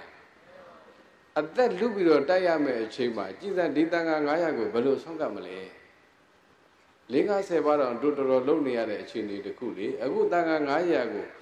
ပင့်သွားပြီးတော့တောနဲ့နဲ့တဲမှာအန္တရာယ်လည်းမရှိအောင်စောင့်ရှောက်ထားတယ်တဲနန်းနေတဲနန်းနေတို့ပြီးအဲ့တန်ခါ900ကိုနော်အပူဇော်ခံမှုထားတာတဏှတ်ကံမိတက်ခိုင်းတာမဟုတ်ဘူးတန်ခါ900ကိုပင့်ပြီးတော့ဆွန့်ကတ်သုကုတုကောင်းမှုလို့ဖူးမြင်ပြီးတော့စစ်တိုက်နောက်နေ့ပြန်ကတ်အဲ့လိုတိုက်တာနှစ်နှစ်ကြော်ကြော်တိုက်ရတယ်စစ်ပွဲကိုဒုဋ္ဌကံမိအဲ့တော့တိုက်ပွဲကအရှိန်နေပြင်းလာတယ် နော်တိုက်ပွဲကသူသေးကိုသေးများလာတော့နောက်ဆုံးအခြေအနေတစ်ခုပဲပြောလိုက်တော့မယ်နောက်ဆုံးတိုက်ပွဲပေါ့အဲ့တော့ဒုဒ္ဓဂမဏိတိနှစ်ဖက်ကလည်းကြလာပြီဟိုဘက်ကလည်းအင်အားကနှစ်နဲ့ချီထားတယ်ဒီအကျန်းဖက်ဝါဒကြီးအကျန်းဖက်အစွန်းရောက်တဲ့ပုဂ္ဂိုလ်ကတိတ်များတာအဲ့တော့ဘာပဲဖြစ်ဖြစ်နိုင်ငံနဲ့သာသနာအတွက်ငါအလုံးလုံးနေတာဖြစ်တယ်ဒီတိုက်ပွဲကိုသစ္စာဆိုပြီးတော့အောင်အောင်တိုက်တော့မယ်ပြိဿရဲ့ဘာဆိုတော့မယ်သစ္စာဆိုပြီးတော့တိုက်ပွဲကိုတိုက်မယ်ဆိုပြီးတော့ ဒုဋ္ဌကမဏိကကြွေးကြော်ပြီးတော့တိုက်တာရေဇာဒုက္ခယဝါယမောနာဟမမကရာစီပိသံဗုဒ္ဓသာသနာတေဝထပနာယံအယမမအယံဟောရိစေဝတိရေဇာဒုက္ခယဝါယမောငါရဲ့မင်းစည်းစိမ်ရလူမှုဟူသောအကြောင်းကြောင့်ဝါယမောလုံလကျိုးကိုအထုတ်ခြင်းဆိုတာမဟုတ်ဘူးဒီစစ်ပွဲတိုက်နေခြင်းဟာငါစည်းစိမ်ငါမင်းစည်းစိမ်ငါအာနာအတွက်တိုက်နေခြင်းမဟုတ်ဘူးတဲ့ သံဗုဒ္ဓသာသနာတေဝဓပနာယအယမမအယစေဘွယ်တိသံဗုဒ္ဓသာသနာတေဝမြတ်စွာဘုရားသာသနာတော်မြတ်ကြီးအရှိကတည်တံ့ရဲ့အတွက်သာလေတိုက်နေခြင်းဖြစ်တယ်သစ္စာဆိုပြီနော် ဤစေဘွယ်ကိုတိုက်နေခြင်းသည်ငါမင်းစည်းစိမ်ငါအာနာအတွက်တိုက်နေခြင်းမဟုတ်မြတ်စွာဘုရားသာသနာတော်ကြီးအရှိကတည်တံ့ရဲ့အတွက်သာတိုက်နေခြင်းဖြစ်တယ်ဤမှန်သောသစ္စာစကားကြောင့်ဟောဒီတိုက်ပွဲသည်အောင်ပွဲရပါစေလို့သစ္စာဆိုပြီးတော့တိုက်ကြဟေးဆိုပြီးတော့တိုက်တာပြိလိုက်ရဲ့တစ်ဖက်မှာရန်သူတွေကဒုဒ္ဒဂါမင်းရဲ့စစ်တီတော်တွေကိုမြင်လိုက်တာနဲ့တကယ်နဲ့ခန္ဓာကိုယ်ကမိလျံနေထွက်လာတဲ့လက်လက်တွေက တဝင်းဝင်းနဲ့တဖိတ်ဖိတ်ဖြစ်ပြီးတော့ဟိုဘက်ကရန်သူတွေကြောက်ကြောက်ကြောက်ကြောက်ပြီးတော့နောက်ဆုံးတော့အောင်ဝဲရတာမိစ္ဆာဒိဋ္ဌိကြေကလာပေါင်းနှစ်သိန်းကျော်ကိုတကယ်နဲ့တတ်ပြီးတော့အလုံးအနိုင်ရအောင်လုပ်နိုင်ခဲ့တယ်အဲ့ဒီလိုတိုက်ခြင်းဟာသူ့အတွက်မဟုတ်ဘူးတဲ့သူ့အာဏာအတွက်လည်းမဟုတ်ဘူးဘာအတွက်လဲသာသနာအတွက်ဖြစ်တယ်တဲ့အဲ့ဒီအမှန်တရားကိုသစ္စာဆိုပြီးတော့နိုင်ငံနဲ့သာသနာအတွက်အလုံးလုံးတော်မူခဲ့တာ အဲ့ဒီတမိုင်းကြောင်းလေးကိုဘုန်းကြီးတို့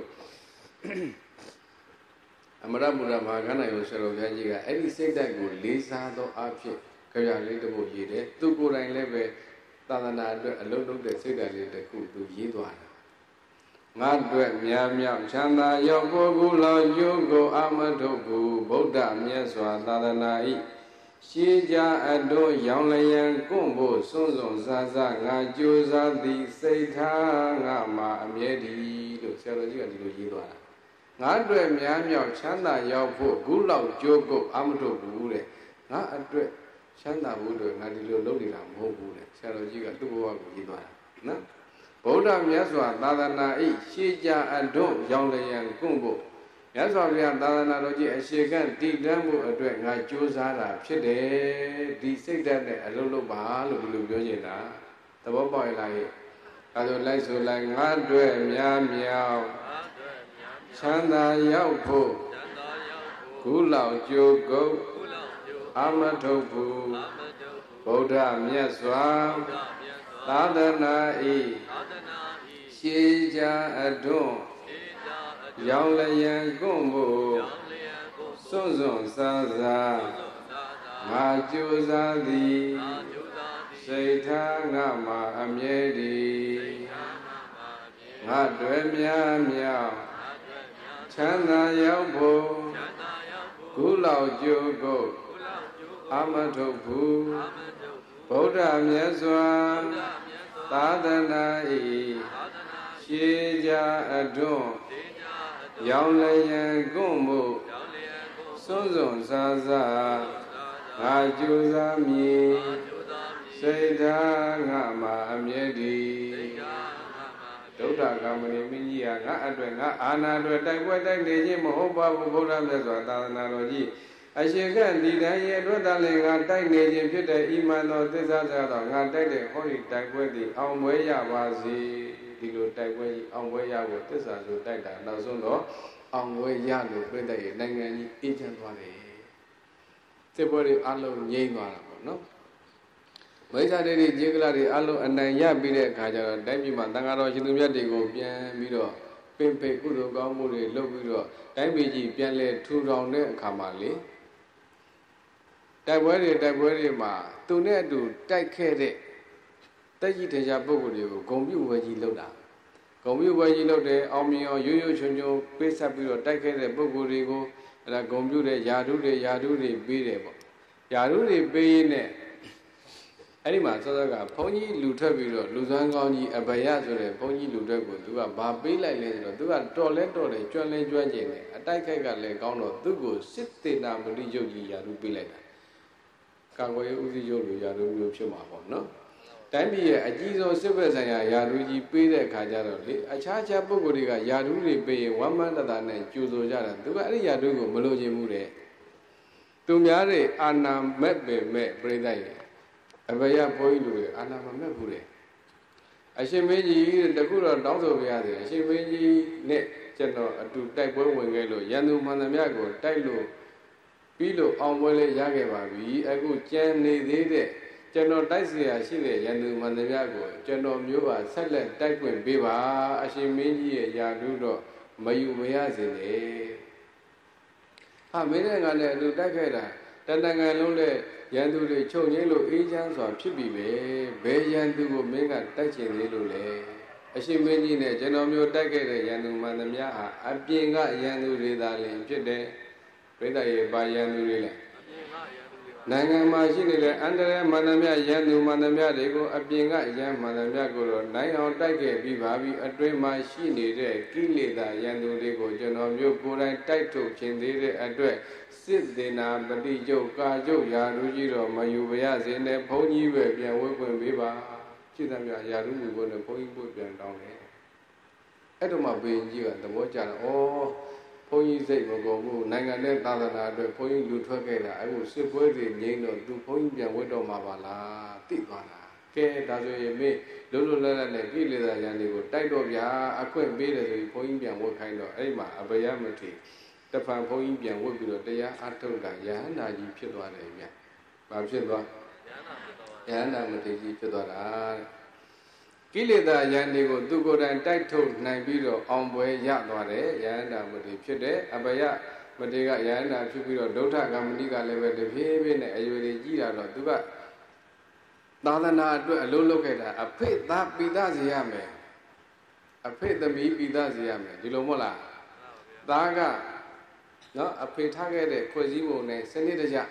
အလုံးလုံးပြီးတော့ နိုင်ငံနဲ့သာသနာကိုစောင့်ကြမယ်ဖရာတွေတဲ့ကျောင်းတွေစောင့်တဲ့ကုသိုလ်ကောင်းမှုတွေလုပ်လုပ်သမျှသာသနာအတွက်အများကြီးသူလှုပ်လှုပ်ခဲ့တာတေကိုကျုံးမှာဒီကနေ့အထိအများကြီးရှိတယ်တခုပေါ်သူကသူ့ဘဝကိုပြင်ဆင်ကြတယ်ငါဟာညီကိုနှစ်ယောက်ရံဖြစ်တော့ကလည်းသူစစ်ပြေးဘဝနဲ့နေခဲ့ရတယ်တိတတ်တဲ့အရွယ်ကဆက်ပြီးတော့ခုချိန်ထိငါဘဝတစ်ချောင်းလုံးမှာဥဥပြပြမစားဘဲနဲ့မလူဘဲနဲ့ မစားခဲ့ဘူးဆိုတော့ဂတိတကုနဲ့ရိုးရိုးသေးသေးလေးလေးစားစားနဲ့သာသနာကိုလည်းတန်ဖိုးထားခဲ့တယ်အဲ့ဒါတွေကိုလည်းသူဆင်ញင်ခဲ့တာဘယ်ချိန်ကမြတ်ငါကျူးလွန်ခဲ့တာတွေရှိမလဲဆိုပြီးတော့ပြန်စဉ်းစားတာနော်ဘာသွားတွေ့လဲဆိုတော့တစ်ချိန်ကလေးပဲ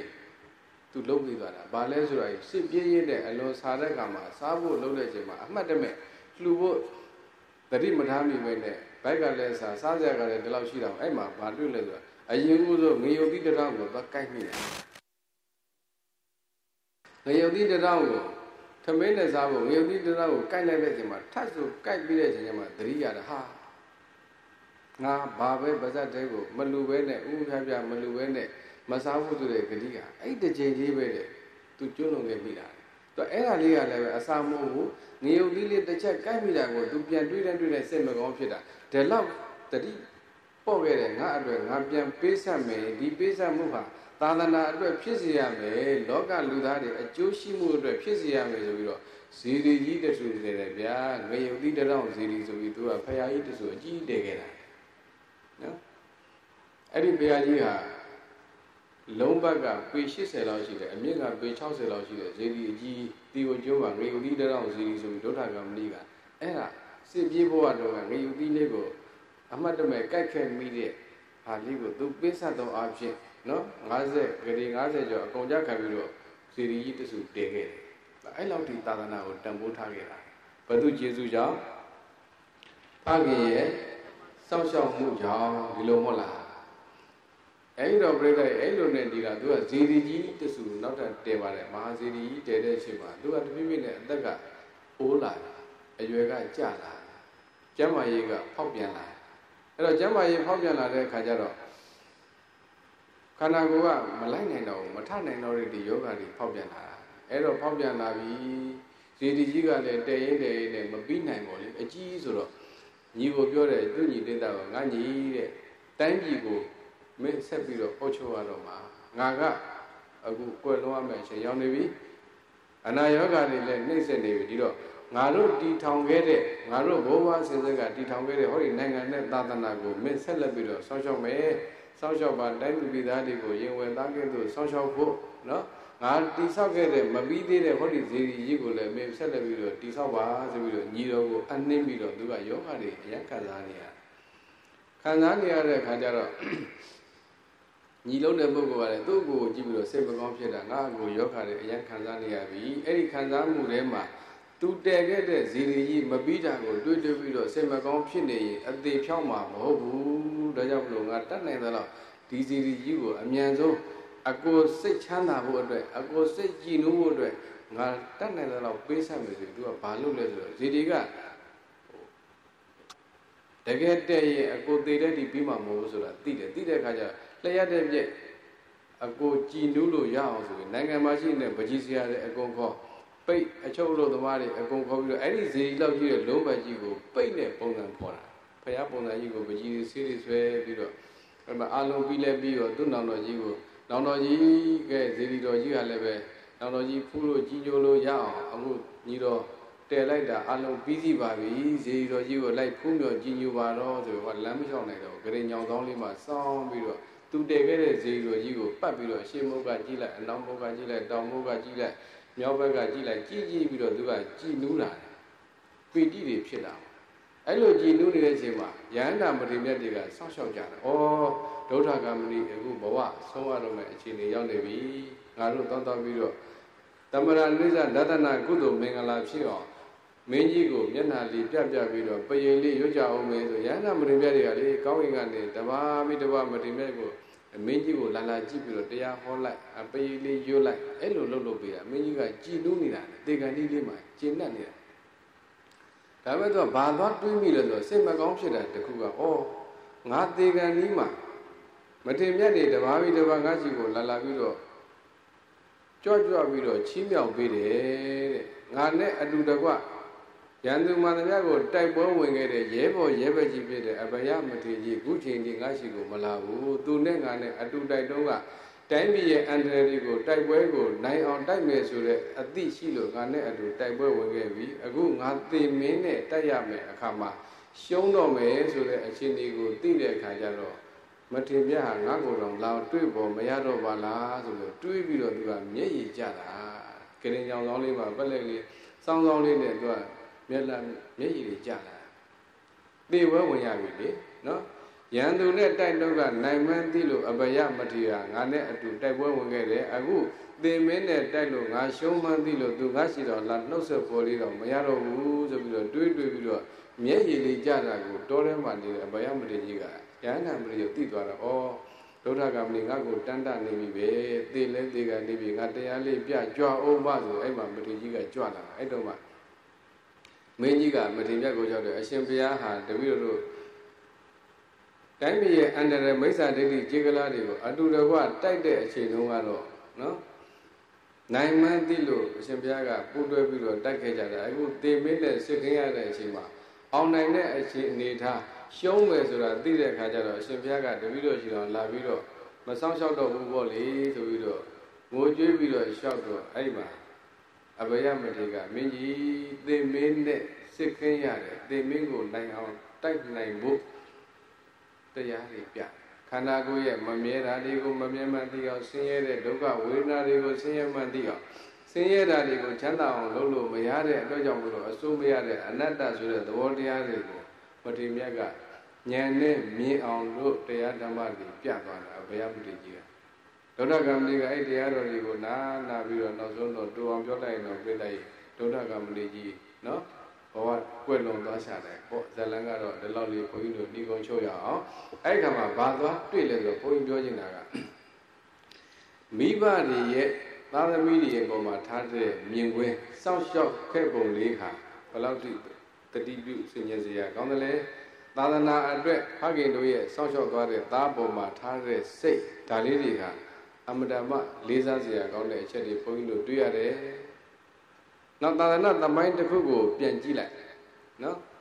သမိုင်းစင်ဆက်ကိုကြည့်လိုက်တဲ့အခါမှာစောစောကပြောသလိုအဖေကသေရင်သားကအလိုလိုဘာဖြစ်လဲဘယင်မဖြစ်ဘူးလားဘယင်ဖြစ်တယ်နော်ရွေးချယ်ပိုင်ခွင့်ရှိရလားရွေးချယ်ပိုင်ခွင့်မရှိဘူးဘာဖြစ်လို့လဲအဲ့ကြည့်အဖေမှာသားရှိတယ်ဒါပေမဲ့အဲ့ဒီသားဟာ သာသနာစိတ်မရှိဘူးယရဏသမဂ္ဂကိုတန်ဖိုးမထားဘူးအကျင့်စာရိတ္တလည်းမကောင်းဘူးတိုင်းပြည်မှာသူ့ထက်တော်တဲ့ပုဂ္ဂိုလ်တွေသူ့ထက်စာရိတ္တကောင်းတဲ့ပုဂ္ဂိုလ်တွေရှိပေမဲ့ရွေးချယ်ပိုင်ခွင့်ပြိတ္တရေမရှိဘူးလေကံကြမ္မာကအဲ့လိုသွားတာဒါကြောင့်မလို့ဖခင်လောက်တဲ့ပုဂ္ဂိုလ်ကရည်ရွယ်ချက်ရှိရှိနဲ့သားကိုစနစ်တကျစောင့်ရှောက်လို့သာသနာစိတ်ရှိသွားရင်တော့အဲ့တိုင်းပြည်ကဒါဖွံ့ဖြိုးသွားတယ်တိုးတက်သွားတယ်ဒါဟိုကာကဝဏဒိတာတို့ကဒုဋ္ဌကမဏိကိုအဲ့လိုစောင့်ရှောက်ခဲ့တာအကယ်၍မြန် ဖခင်ကအဲ့ဒီစိတ်ဓာတ်မျိုးနဲ့စောင့်ရှောက်မှုမပြုခဲ့ရင်အဲ့ဒီသားဟာသူ့လက်ထက်ကျတော့ထင်ရလို့တော့နိုင်ငံတော်သာသနာကိုပြက်တာပဲဒါသမိုင်းမှာရှိတယ်မြမရာဇဝင်မှာလည်းအများကြီးရှိတယ်အဲ့တော့ဒါဆိုလို့ရှိရင်တစ်ချက်ပြန်ကြည့်လိုက်တိုင်းပြည်တကူသာသနာတကူဖွံ့ဖြိုးတိုးတက်ဖို့ဆိုတာရှင်ဘရင်မှာအများကြီးအရေးပါအရာရောက်တယ်ဆိုတာဘုရားကပြောပြပြီနော်။ရာဂိုင်လုံးတော်တော်များများဟာရှင်ဘရင်အပေါ်မှာမူတည်တယ်။ဒါကြောင့်ဘုရားရှိခိုးတော်မြတ်ကသာသနာနာမ ရာဇာဗရဏံလို့ဒီလိုပြောတာသာသနာဆိုတာဘယင်ကိုအမိပြုပြီးတော့အဲ့ဒီဘယင်ကသာသနာစိတ်ရှိရင်ရှိသလောက်တိုင်းပြည်ဖွံ့ဖြိုးတယ်တိုးတက်တယ်ဒါဆိုရင်ဟိုးတော့ကရှင်ဘယင်တွေပြန်ကြည့်လိုက်နော်တော့အိန္ဒိယနိုင်ငံကိုအတောကကိုတစ်ချက်ပြန်ကြည့်လိုက်တိတိဓမ္မအတောကကြားဘူးတယ်မဟုတ်လားသာသနာပြုပင်ကြီးလူတိုင်းကြားဘူးတယ်နော်အတောကဟာ မြတ်စွာဘုရားပြိဋိဘံဇာမင်းတော်နှစ်100ကျော်ကျော်လောက်မှပေါ်တာဒုရကမလေးကနှစ်400လောက်မှတဝက်လောက်กว่าနှစ်200လောက်กว่าအဲ့တော့နှစ်200ကျော်လောက်မှပေါ်လာတဲ့အသောကဟာတစ်ချိန်လုံးကအသောကဆိုတာအလွန်ကျန်းတဲ့ဘယင်အလွန်ရိုင်းတဲ့ဘယင်ပဲမင်းမောင်များစွာကိုတတ်ပြီးတော့ဘယင်လုပ်ခဲ့တယ်မှန်ရလားသိရက်ဆက်တယ်အင်ပါယာကြီးတစ်ခုလုံးကအသောကလို့ပြောလိုက်တာနဲ့ အလုံးဟာတုံလုံးလောက်အောင်သူက အင်ပါယာကအရင်ကြီးတယ်အဲ့တော့ဒီအတောကဟာတရှင်လုံးကရိုင်းဆိုင်ခဲ့တယ်ရက်စက်ခဲ့တယ်ကြမ်းလို့လို့ရိုင်းလို့လို့သူ့ကိုအတောကရဲ့ရှေ့မှာစန္ဒာဆိုပြီးတော့ထည့်တာစန္ဒနော်ကြမ်းနေပေါ့စန္ဒာတော့ကအလွန်ကြမ်းတဲ့ဘယင်ကြီးလို့ဒီလိုခေါ်ကြတယ်တော့ကြမ်းချင်းရိုင်းချင်းကိုပြန်ကြည့်လိုက်သူ့နှလုံးသားထဲမှာယရနာသုံးပါးမရှိပါတော့ကဘာလို့ သူ့ရဲ့အစဉ်ဆက်ဘိုးဘွားအစဉ်ဆက်ကပြန်ကြည့်လိုက်ကိုးပေါ်တဲ့ပုဂ္ဂိုလ်ကယရနာသုံးပါးကိုတန်ဖိုးထားတဲ့အဆင့်မရှိတဲ့ခါကျတော့မိစ္ဆာဒိဋ္ဌိတွေကိုးကွယ်တာစောစောကအယူဝါဒဘာသာကြားတွေကိုးကွယ်တာအဲသူ့လက်ထက်ကျတော့လေအဲ့ဒီပုဂ္ဂိုလ်တွေကိုစိတ်ကပ်လာတယ်ဘယ်လောက်ထိလဲဆိုဘာသာကြားမိစ္ဆာဒိဋ္ဌိ6000ကိုစိတ်ကပ်လှူဒန်းပြီးတော့သူ့ဘဝကိုတိဆောက်ထားတယ်ဘယ်လိုလုပ်အေးချမ်းတော့မှာလဲနှလုံးသားမနှုညံ့တော့ဘူးလေနှလုံးသားနှုညံ့တဲ့အဆုံးမှသူ့မှာမရှိဘူး တနေ့ကျတော့အဲ့လိုဘဝကိုတိဆောက်ရင်လည်းဥပမာနန်းရင်မြရှိပါနိရောဓတာမဏိလေးကိုယ်လေးဆုံးခံကြွလာတာကိုမြင်တော့အတုကစိတ်ထဲမှာအဲ့တာမဏိကိုတွေးလိုက်တာနဲ့သူ့နှလုံးသားထဲမှာတုံလှုပ်သွားတယ်ဟာသူ့ပတ်ဝန်းကျင်မှာမြင်နေရတဲ့ပုံကိုယ်လေးရဲ့အဆင့်တန်းအခြေအနေနဲ့ဒီကိုယ်ရဲ့သွားပုံလာပုံနေမှုထိုင်မှုကိုကြည့်လိုက်တဲ့အခါမှာအရာခလေးကကွဲပြားနေတယ် အေးချမ်းမှုတစ်ခုသူရသွားတယ်မနေနိုင်ဘူးနန်းတော်လေးကိုကိုရင်ကိုပင့်တယ်ပြပြီးတော့စကားပြောကြည့်တယ်ကိုရင်ကသူသိတဲ့အပ္ပမလာလီပြောရပြီးအတောကဘဝပြောင်းသွားစန္ဒတောကအဆင့်ကနေဓမ္မတောကအဆင့်ကိုရောက်သွားတယ်တိရိဓမ္မဆိုတဲ့အဆင့်ရောက်သွားဘသူကြောင့်နိရောဓဆိုတဲ့ကိုရင်ငယ်လေးကိုအကြောင်းပြုပြီးတော့အတောကဟာနှလုံးသားထဲမှာယန္တာ၃ပါးတည်တဲ့အဆင့်ကိုရောက်သွားတယ်မှန်လားအဲ့တော့အဲ့လို အစင်းကိုရောက်ပြီးတဲ့အခါကျတော့နော်အတောကဟာသာသနာပြုလုပ်ငန်းတွေလုပ်တယ်တူအောင်ပြောလိုက်ရင်ရေရင်းမောရှင်းတောင်းလေးတောင်ရေကံမောဇီဘောကြောင်းမောဖရာဘောရှင်းတောင်းလေးတောင်မောများစွာပြိတ္တရဲ့အတောကသာသနာမပြုခဲ့ဘူးလားအတောကသာသနာပြုခဲ့တာများစွာလေနော်နဲ့အဲ့လိုလုပ်ခဲ့တယ်သာသနာတော်ကြီးကယိုယွင်းနေတဲ့အခြေအနေမှန်သမျှကိုအတောကဟာအရှင်မမောက္ကလိဗုဒ္ဓတိတ်တဆိုတဲ့မထေမြတ်ကိုရှိကပ်ပြီးတော့သာသနာတော်တန့်ရှင်းအောင် သာသနာတော်ရဲ့အညီချင်းမှန်သမျှကိုတန်ရှင်းအောင်လုပ်ပြီးတော့သံဃာယနာတင်တဲ့အစင်းဒီအတောကဟာသာသနာအတွက်ဆွမ်းဆွမ်းဓမ္မလုပ်ခဲ့တယ်။အဖရာတွေလည်းကြောင်းတွေဆောက်ခဲ့တယ်ဆိုတာကိုလည်းပြန်ကြည့်အောင်သူဟာဘယင်ဖြစ်လူကအာနာရှိရင်အဲ့ဒီအာနာကိုကောင်းကောင်းအသုံးချတယ်နော်။အာနာရှိတဲ့ပုဂ္ဂိုလ်ရဲ့နှလုံးသားထဲမှာ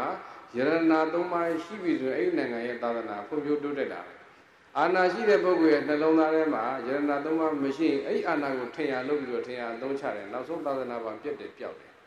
ဒါကဘုန်းကြီးတို့အတောကအရှင်တွေကိုပြန်ကြည့်လိုက်ရင်သူ့လက်ထက်တုန်းကဖရာပေါင်းကျောင်းပေါင်းနဲ့တိတ်ထုံကားခဲ့တဲ့သာသနာနောက်ပိုင်းတက်လာတဲ့ဘယင်ဆက်ဆက်ရဲ့နှလုံးသားထဲမှာယရနာသုံးပါးမရှိတဲ့အခါကျတော့အတောကတည်ခဲ့တဲ့မြဖရာတစ်စောင်းကျောင်းကအကုန်ဖြစ်တယ်နော်အိန္ဒိယပါကစ္စတန်အာဖဂန်အင်ဒိုနီးရှားမလေးရှားအလုံးပြတ်သွားတယ် သာသနာတော်ရဲ့အသက်ရေတောင်းမဖြစ်တဲ့တန်ဃာတော်တွေကိုနာလန္ဒာတက္ကသိုလ်ဆိုပြန်ကြည့်တန်ဃာပေါင်း1000ကျော်အကုန်လုံးပိတ်မီးရှို့တတ်တဲ့အဆင့်ဒီသာသနာကိုအမြင့်ပြတ်အောင်လုပ်ခဲ့ကြတယ်ဒါတွေကသမိုင်းတွေအများကြီးရှိတယ်ဒါတွေပြောလို့ပြီးမှာမဟုတ်ဘူးရှိသေးတော့ပြောချင်တာကတိုင်းပြည်အုပ်ချုပ်တဲ့ပုဂ္ဂိုလ်ရဲ့နှလုံးသားထဲမှာယရနာ၃ပါးရှိဖို့လိုတယ်အဲ့ဒါပြောချင်တာသဘောပေါက်လားဘာဖြစ်လို့လဲအဲ့ဒီပုဂ္ဂိုလ်ကအသိအရေးကြီးလို့လို့ခိုးတော့ကရှင်ဘရင်အခုကြတော့အစိုးရ ဒါပဲกว่าတယ်အုတ်ချုပ်သူကတော့အတူတူပဲဘယင်စနစ်မှာရွေးချယ်ပိုင်ခွင့်မရှိဘူးဖေးသေးသားကဘယင်ဖြစ်တယ်မှန်လားဒီကနေ့ကအစိုးရခေတ်ကြတော့အဲ့လိုမဟုတ်တော့ဘူးကိုယ်တိုင်းပြည်ကိုအုပ်ချုပ်မဲ့ပုဂ္ဂိုလ်ကိုဘယ်သူကပြန်ရွေးရအဲဒီမိုကရေစီဆိုတော့ဘာသွားလဲပြည်သူကပြန်ရွေးရတဲ့စနစ်ကိုရောက်လာတယ်နောက်ဆုံးအခုပြန်ကြည့်ဖို့အုပ်ချုပ်ရေးမှုတော်မှာသူတက်ငါတက်လုပ်လို့ရရင်လားရွေးကောက်ပြီးတော့ရွေးချယ်ပြီးတော့မဲပေးပြီးတော့ တင်ရတဲ့အဆင့်ကိုမရောက်သွားဘူးလားအဲရခင်နဲ့ဆိုင်ရခုသည်ဘာဖြစ်လဲအာသာချက်ရှိတယ်မှန်ရလားဒါဆိုရင်ကိုယ်နိုင်ငံကိုအုပ်ချုပ်မဲ့ပုဂ္ဂိုလ်ကိုရွာကိုအုပ်ချုပ်မဲ့ပုဂ္ဂိုလ်ကိုရက်ွက်ကိုအုပ်ချုပ်မဲ့ပုဂ္ဂိုလ်ကစပြီးတော့ဟိုနိုင်ငံတော်သမ္မတအစင်းစင်းအထိအုပ်ချုပ်ရေးမှန်သမျှပုဂ္ဂိုလ်တွေကိုရွေးချယ်တော့မယ်ဆိုရင်ကိုယ်မှာရွေးချယ်ပိုင်ခွင့်မရှိဘူးလား ရွေးချယ်ပိုင်ခွင့်ရှိပါလျက်နဲ့မှန်မှန်ကန်ကန်မရွေးချယ်မိလို့တိုင်းပြည်နာတတ်နာသွားရင်အဲ့သမိုင်းဟာကိုယ်သမိုင်းပဲဒါလေးတော့သတိထားဖို့လိုတယ်မှန်လားဒါကြောင့်မလို့ဘုန်းကြီးတို့အဲ့ဒါလေးကိုနည်းနည်းလေးသတိပေးခြင်းဖြစ်တယ်နိုင်ငံရေးစကားမဟုတ်ဘူးဒီဘုန်းကြီးနိုင်ငံရေးလုပ်တဲ့ဘုန်းကြီးလည်းမဟုတ်ဘူးစိတ်ဝင်စားဘူးအုပ်ချုပ်ရေးမှုလည်းလုပ်မှာမဟုတ်ဘူးတမရလည်းလုပ်မှာမဟုတ်ဘူးเนาะဘာအတွက်ပြောနေတာလဲ သာသနာအတွက်ပြောနေတာဘာအတွက်ပြောလဲဘယ်သူပဲတက်တက်ဘယ်သူပဲအုပ်ချုပ်အုပ်ချုပ် ရက်ွက်ကစသမရအဆင့်ဒီပြိလိုက်အဲ့အုပ်ချုပ်တဲ့ပုဂ္ဂိုလ်မှန်သမျှဟာဘာသာသာသနာကိုတန်ဖိုးထားတဲ့ပုဂ္ဂိုလ်ဖြစ်ရမယ်မှန်လားအဲ့ဒီပုဂ္ဂိုလ်မျိုးကိုရွေးချယ်ရမယ်အဲ့ဒီပုဂ္ဂိုလ်မျိုးကိုရွေးချယ်မှနိုင်ငံနဲ့သာသနာဖွံ့ဖြိုးမယ်တိုးတက်မယ်စီးပင်မယ်ပြန့်ပွားမယ်ထုံကားမယ်မှန်လားအဲ့လိုပြောတာအစွန်းရောက်သလားဒီကနေ့အဲ့လိုပြောရင်ပါတူတဲ့ပုဂ္ဂိုလ်ဆိုကြီးတဲ့ပုဂ္ဂိုလ်ကအပြစ်ပြောခြင်းကြတယ်ဆဲဆိုခြင်းကြတယ်နော်တတိထားဖို့လိုတယ်ဘုန်းကြီးတို့ပြောနေတာက လမ်းကြောင်းကတက်လန်းတဲ့ပဲရှိတယ်ဘာသာသာသနာရဲ့လမ်းကြောင်းပေါ်မှာဒီကနေ့သာသနာနဲ့ပတ်သက်တဲ့အာမရဘွယ်အကြောင်းအရာတွေကိုတွေ့ရင်မနေနိုင်ဘူးပြောတယ်ပြုတ်ပြင်းမှုပြောတယ်ဒါပေမဲ့ပြုတ်ပြင်းလို့ပြောတာကိုအပြစ်ပြောတယ်တပြီးတော့ဆဲဆိုကြတယ်ကိုမှားတာကိုလက်မခံကြတော့ဘူးမှန်လားတတိထားဖို့မလိုဘူးလားတတိထားကြပါဒါဆိုရင်အခုပြန်ကြည့်လိုက် ဖိုးတော့ကဘယင်စနစ်မို့လို့ရွေးချယ်ပိုင်ခွင့်မရှိဘူးဒီကနေ့ခေတ်ကြတော့ဒီမိုကရေစီခေတ်ဆိုတော့ရွေးချယ်ပိုင်ခွင့်ဘာဖြစ်လဲရှိတယ်ရွေးချယ်ပိုင်ခွင့်ရှိတဲ့အခါမှာမှန်မှန်ကန်ကန်လေးတော့ရွေးချယ်စေခြင်းတယ်ဗါလဲမှန်မှန်ကန်ကန်လေးတော့ရွေးချယ်မှုမှန်ရင်ရွာသားရတယ်ရွေးချယ်မှုမှန်ရင်ရွေးချယ်မှုမှားရင်တော့ရွာနာမှာပေါ့ ရက်ွက်နာမယ်နိုင်ငံနာမယ်ဘာသာသာသနာနာလိမ့်မယ်အလုံးပြတ်သုံးသွားလိမ့်မယ်ဒါကိုတော့တတိထားစေခြင်းနဲ့တတိပြုစေခြင်းနဲ့ဥပမာလေးပြောကြပါစို့ပြိဿရေနော်အခုဆိုလို့ရှိရင်ဆိုကြပါစို့ဒီမှာ2020ရောက်လာတယ်ရွေးကောက်ပွဲကာလနီးလာတယ်နော်လူတွေအသီးအသီးမလုပ်ကြမယ်မဲပေးကြမယ်ဘယ်သူအတွက်လဲကိုကိုအုပ်ချုပ်မဲ့ပုဂ္ဂိုလ်ကိုနိုင်ငံကိုအုပ်ချုပ်မဲ့ပုဂ္ဂိုလ်ကိုရန်ကွက်ကိုအုပ်ချုပ်မဲ့ပုဂ္ဂိုလ်ကိုငါတို့ကိုယ်တိုင်ရွေးချယ်ခွင့်ရှိတယ် ရှိအောင်လည်းလုပ်ခဲ့ကြလို့ဒီကနေ့ရွေးချယ်ခွင့်ရခဲ့ကြပြီလေမှန်ရဲ့လားဒါဆိုရင်ရွေးချယ်ပိုင်ခွင့်လည်းရှိပြီရွေးချယ်ခွင့်ရှိတဲ့အပေါ်မှာကောင်းကောင်းအသုံးချပြီးတော့မှန်မှန်ကန်ကန်ရွေးချယ်ဖို့တော့လိုအပ်လာပြီလို့ဒီလိုသဘောပေါက်ပါဒါဆိုရင်ဘယ်လိုရွေးချယ်ကြမှာလဲနော်ပါတီတီးတီးကအခုကြည့်လိုက်လာတော့မယ်ရွေးကောက်ပွဲတာနီးလိုက်ရင်တရွာဝင်တရွာတက်တအိမ်စင်းတအိမ်နဲ့လာပြီးတော့စီယုံတော့မယ်မှန်ရဲ့လား ဘာလုပ်ပေးပါပဲနိုင်လို့ရှိရင်ဘာလုပ်ပေးပါပဲညာလုပ်ပေးပါဟိုဟာလုပ်ပေးပါအာနာလည်းရအောင်လှဲ့တော့မကြည့်တော့မရှိဘူးလားဒါတွေလည်းဘုန်းကြီးတို့အများကြီးကြုံခဲ့ပြီပြီဟုတ်လားအဲ့တော့အဲ့ဟာတွေကိုခဏထားဘုန်းကြီးတို့သိကျင်တာကပြောကျင်တာကဒါတွေစီးပွားရေးတွေဒုမိုးရေးတွေခဏထားအဲ့ဒီကိုရွေးချယ်မဲ့ပုဂ္ဂိုလ်ကိုကိုခေါင်းဆောင်မဲ့ပုဂ္ဂိုလ်ဟာနိုင်ငံနဲ့သာသနာပုဂ္ဂိုလ်ဘယ်လောက်တန်ဖိုးထားနိုင်တယ်လဲဒါလေးတော့ကြည့်စေခြင်းတယ်ဒါလေးကိုတော့ တတိပြုစေခြင်းတယ်မှန်လားဆိုကြပါစို့ပြိဿရဲ့ရက်ွက်အုပ်ချုပ်ရေးမှုသာဟိုနိုင်ငံတော်သမ္မတတိလွတ်တော်ကိုယ်စားလှယ်ကိုခဏထားလိုက်တော့အောက်ခြေအဆင့်ကနေစလိုက်ကြည့်လိုက်ဘယ်သူပဲကြည့်ကြည့်လွတ်တော်ကိုယ်စားလှယ်ပဲကြည့်ကြည့်ဘယ်သူကိုပဲရွေးရွေးငါတို့ကြီးရွာကိုအုပ်ချုပ်မဲ့ပုဂ္ဂိုလ်ကိုတို့ရွေးကြရအောင်ဆိုတော့ရက်ွက်ကိုအုပ်ချုပ်မဲ့ပုဂ္ဂိုလ်ပေါ့ဗျာရွာကိုအုပ်ချုပ်မဲ့ပုဂ္ဂိုလ်ရွေးမယ်ဆိုတော့လူတွေက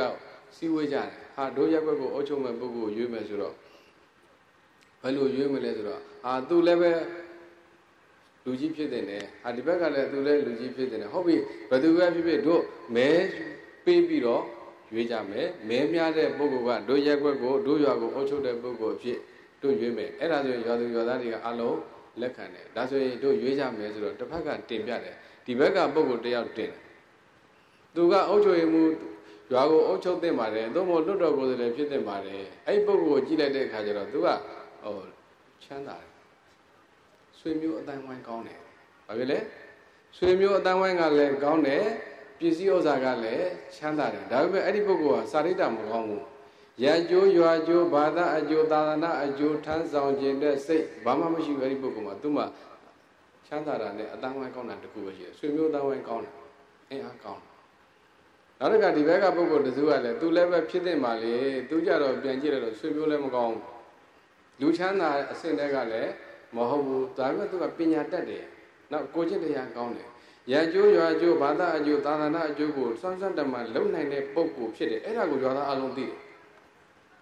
ဒီဘက်ကပုဂ္ဂိုလ်စာရိတ္တမကောင်းဘူးဆိုတာလည်းသိတယ်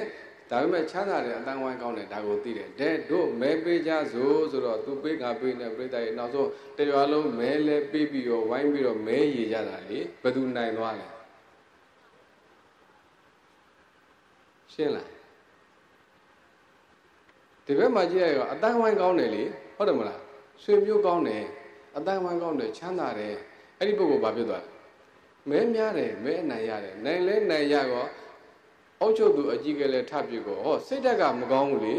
စာရိတ္တကမကောင်းဘူးလေအဲ့မထင်ရလို့တော့တာကိုနာမလို့အောင်ဒီနာမလို့ကိုနာအလူကမထွက်အောင်ကိုနာတရားပဲမလို့အောင်အာဒီနာတရားဟိုလိုပါမစ်တင်အောင်ဒီလိုပါမစ်တင်အောင်အမျိုးမျိုးမလို့ဘူးလားကဲဘယ်သူရွေးတာလဲ ကိုအရွေးမှတော့ရွာနာတာဘယ်သူကြောင့်လဲမိရင်နှခါနာတော့မဖြစ်စေနဲ့ဟုတ်လားမှန်မှန်ကန်ကန်ရွေးဖို့လို့ဘယ်သူပဲတက်လာတယ်လားငါတို့ရွာကိုအုပ်ချုပ်မဲ့ပုဂ္ဂိုလ်ကငါတို့ရက်ကျိုးရွာကျိုးဘာသာအကျိုးသာသနာအကျိုးကိုဘလောက်လုံနိုင်စွမ်းရှိတယ်လဲဆိုတဲ့အချက်ကိုပဲကြည်စားမှာပါတီတွေဘာတွေခဏထားအဲ့ဒီပုဂ္ဂိုလ်ကတို့ရွာအတွက်ဒီပုဂ္ဂိုလ်ကလုံတဲ့ပုဂ္ဂိုလ်လားစာရိတ္တမကောင်းရင်မရွေးနဲ့ဆွေမျိုးမကြည့်နဲ့အတိုင်းဝိုင်းမကြည့်နဲ့ပါတီမကြည့်နဲ့လုံနိုင်တဲ့ပုဂ္ဂိုလ်မှန်ရွေးလိုက် လုံနိုင်စွမ်းပြီးကိုကျင့်တရားမကောင်းတဲ့ပုဂ္ဂိုလ်ခေါင်းဆောင်တင်တော့ပြက်ပြီပေါ့ဗျာပြိတ္တရဲ့ဟုတ်လားဒါဆိုရင်ဘာလို့မရိုးရိုးလေးကြည့်လိုက်ပါပုဂ္ဂိုလ်ဆွဲတွေမထားပါနဲ့ပါတီဆွဲတွေမထားစမ်းပါနဲ့ဒီကနေ့ကြည့်လိုက်ဟို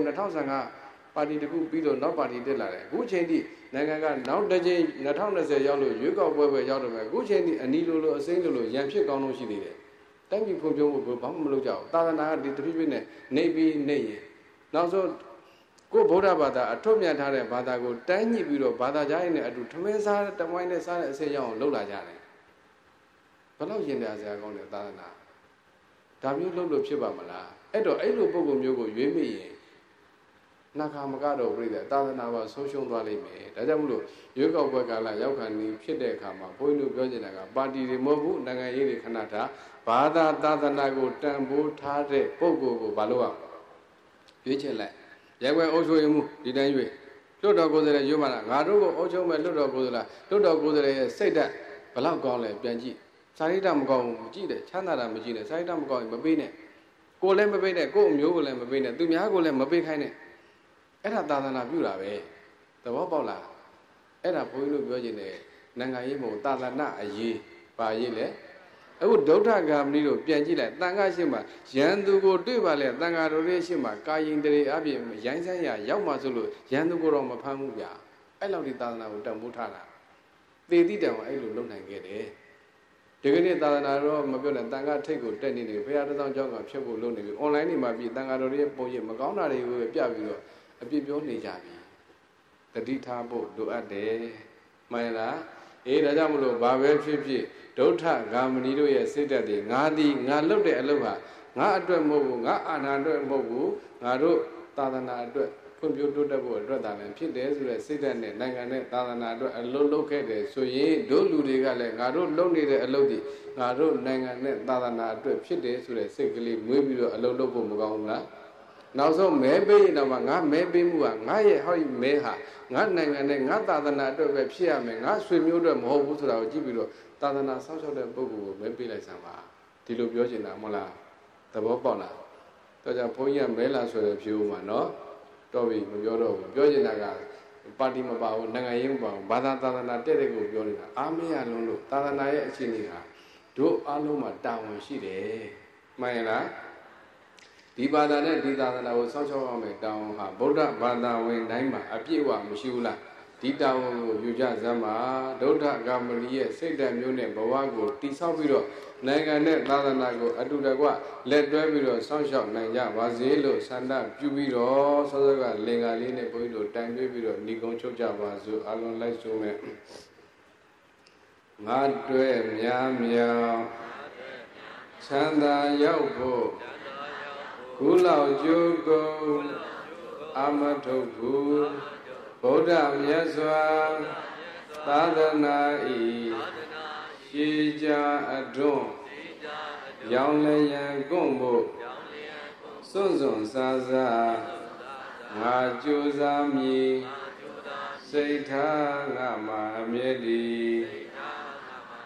ငါတွေမြတ်မြောက်ချမ်းသာရောက်ဖို့ ကုလောက်ကျိုးကုန်အမထုတ်ဘူးဗုဒ္ဓမြတ်စွာသာသနာဤရှေးကြအတွန်းရောင်လျံကွန့်ဖို့စွန့်စွန့်စားစားငါကြိုးစားမည်စိတ်ထားငါမှာအမြဲတည်ငါ အာတွင်များမျောချမ်းသာရောက်ကိုကုလောက်ကျိုးကိုအမတော်ဘူးဗုဒ္ဓမြတ်စွာသာသနာ၏ရှေးကြအတွန်းရောက်လျက်ကွန့်မို့စွန်းစွန်းစားစားငါကြိုးစားမည်စိတ်ထားငါမှာအမြဲတည်အပမဒိနသမ္မာဒိဋ္ဌသာတဝနှလုံးပြောင်းပြောင်းသူတော်ကောင်းပေါင်းတို့ဒုံမေတင်တို့သည်အပမဒိန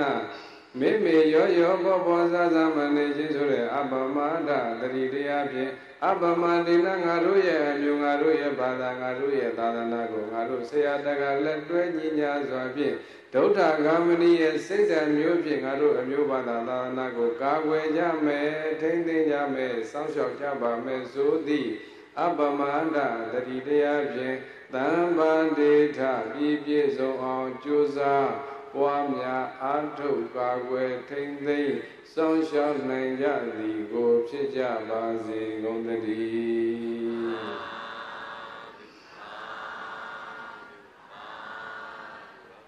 အလုံးကိုစိတ်နှပြဘေးရန်ကွာ၍ကျမ်းမာချမ်းသာကြပါစေလောကအကျိုးသာသနာတော်မြတ်ကြီးရဲ့အကျိုးအကျိုးစီးပွားမှန်သမျှကိုအာကျိုးမှန်တဲ့ဆောင်ရွက်နိုင်သောသာသနာပြုအမျိုးကောင်းသားအမျိုးကောင်းသမီးများဖြစ်ကြပါစေ အေးစိတ်နဲ့ပြေးပါသိရှင်ဗျာ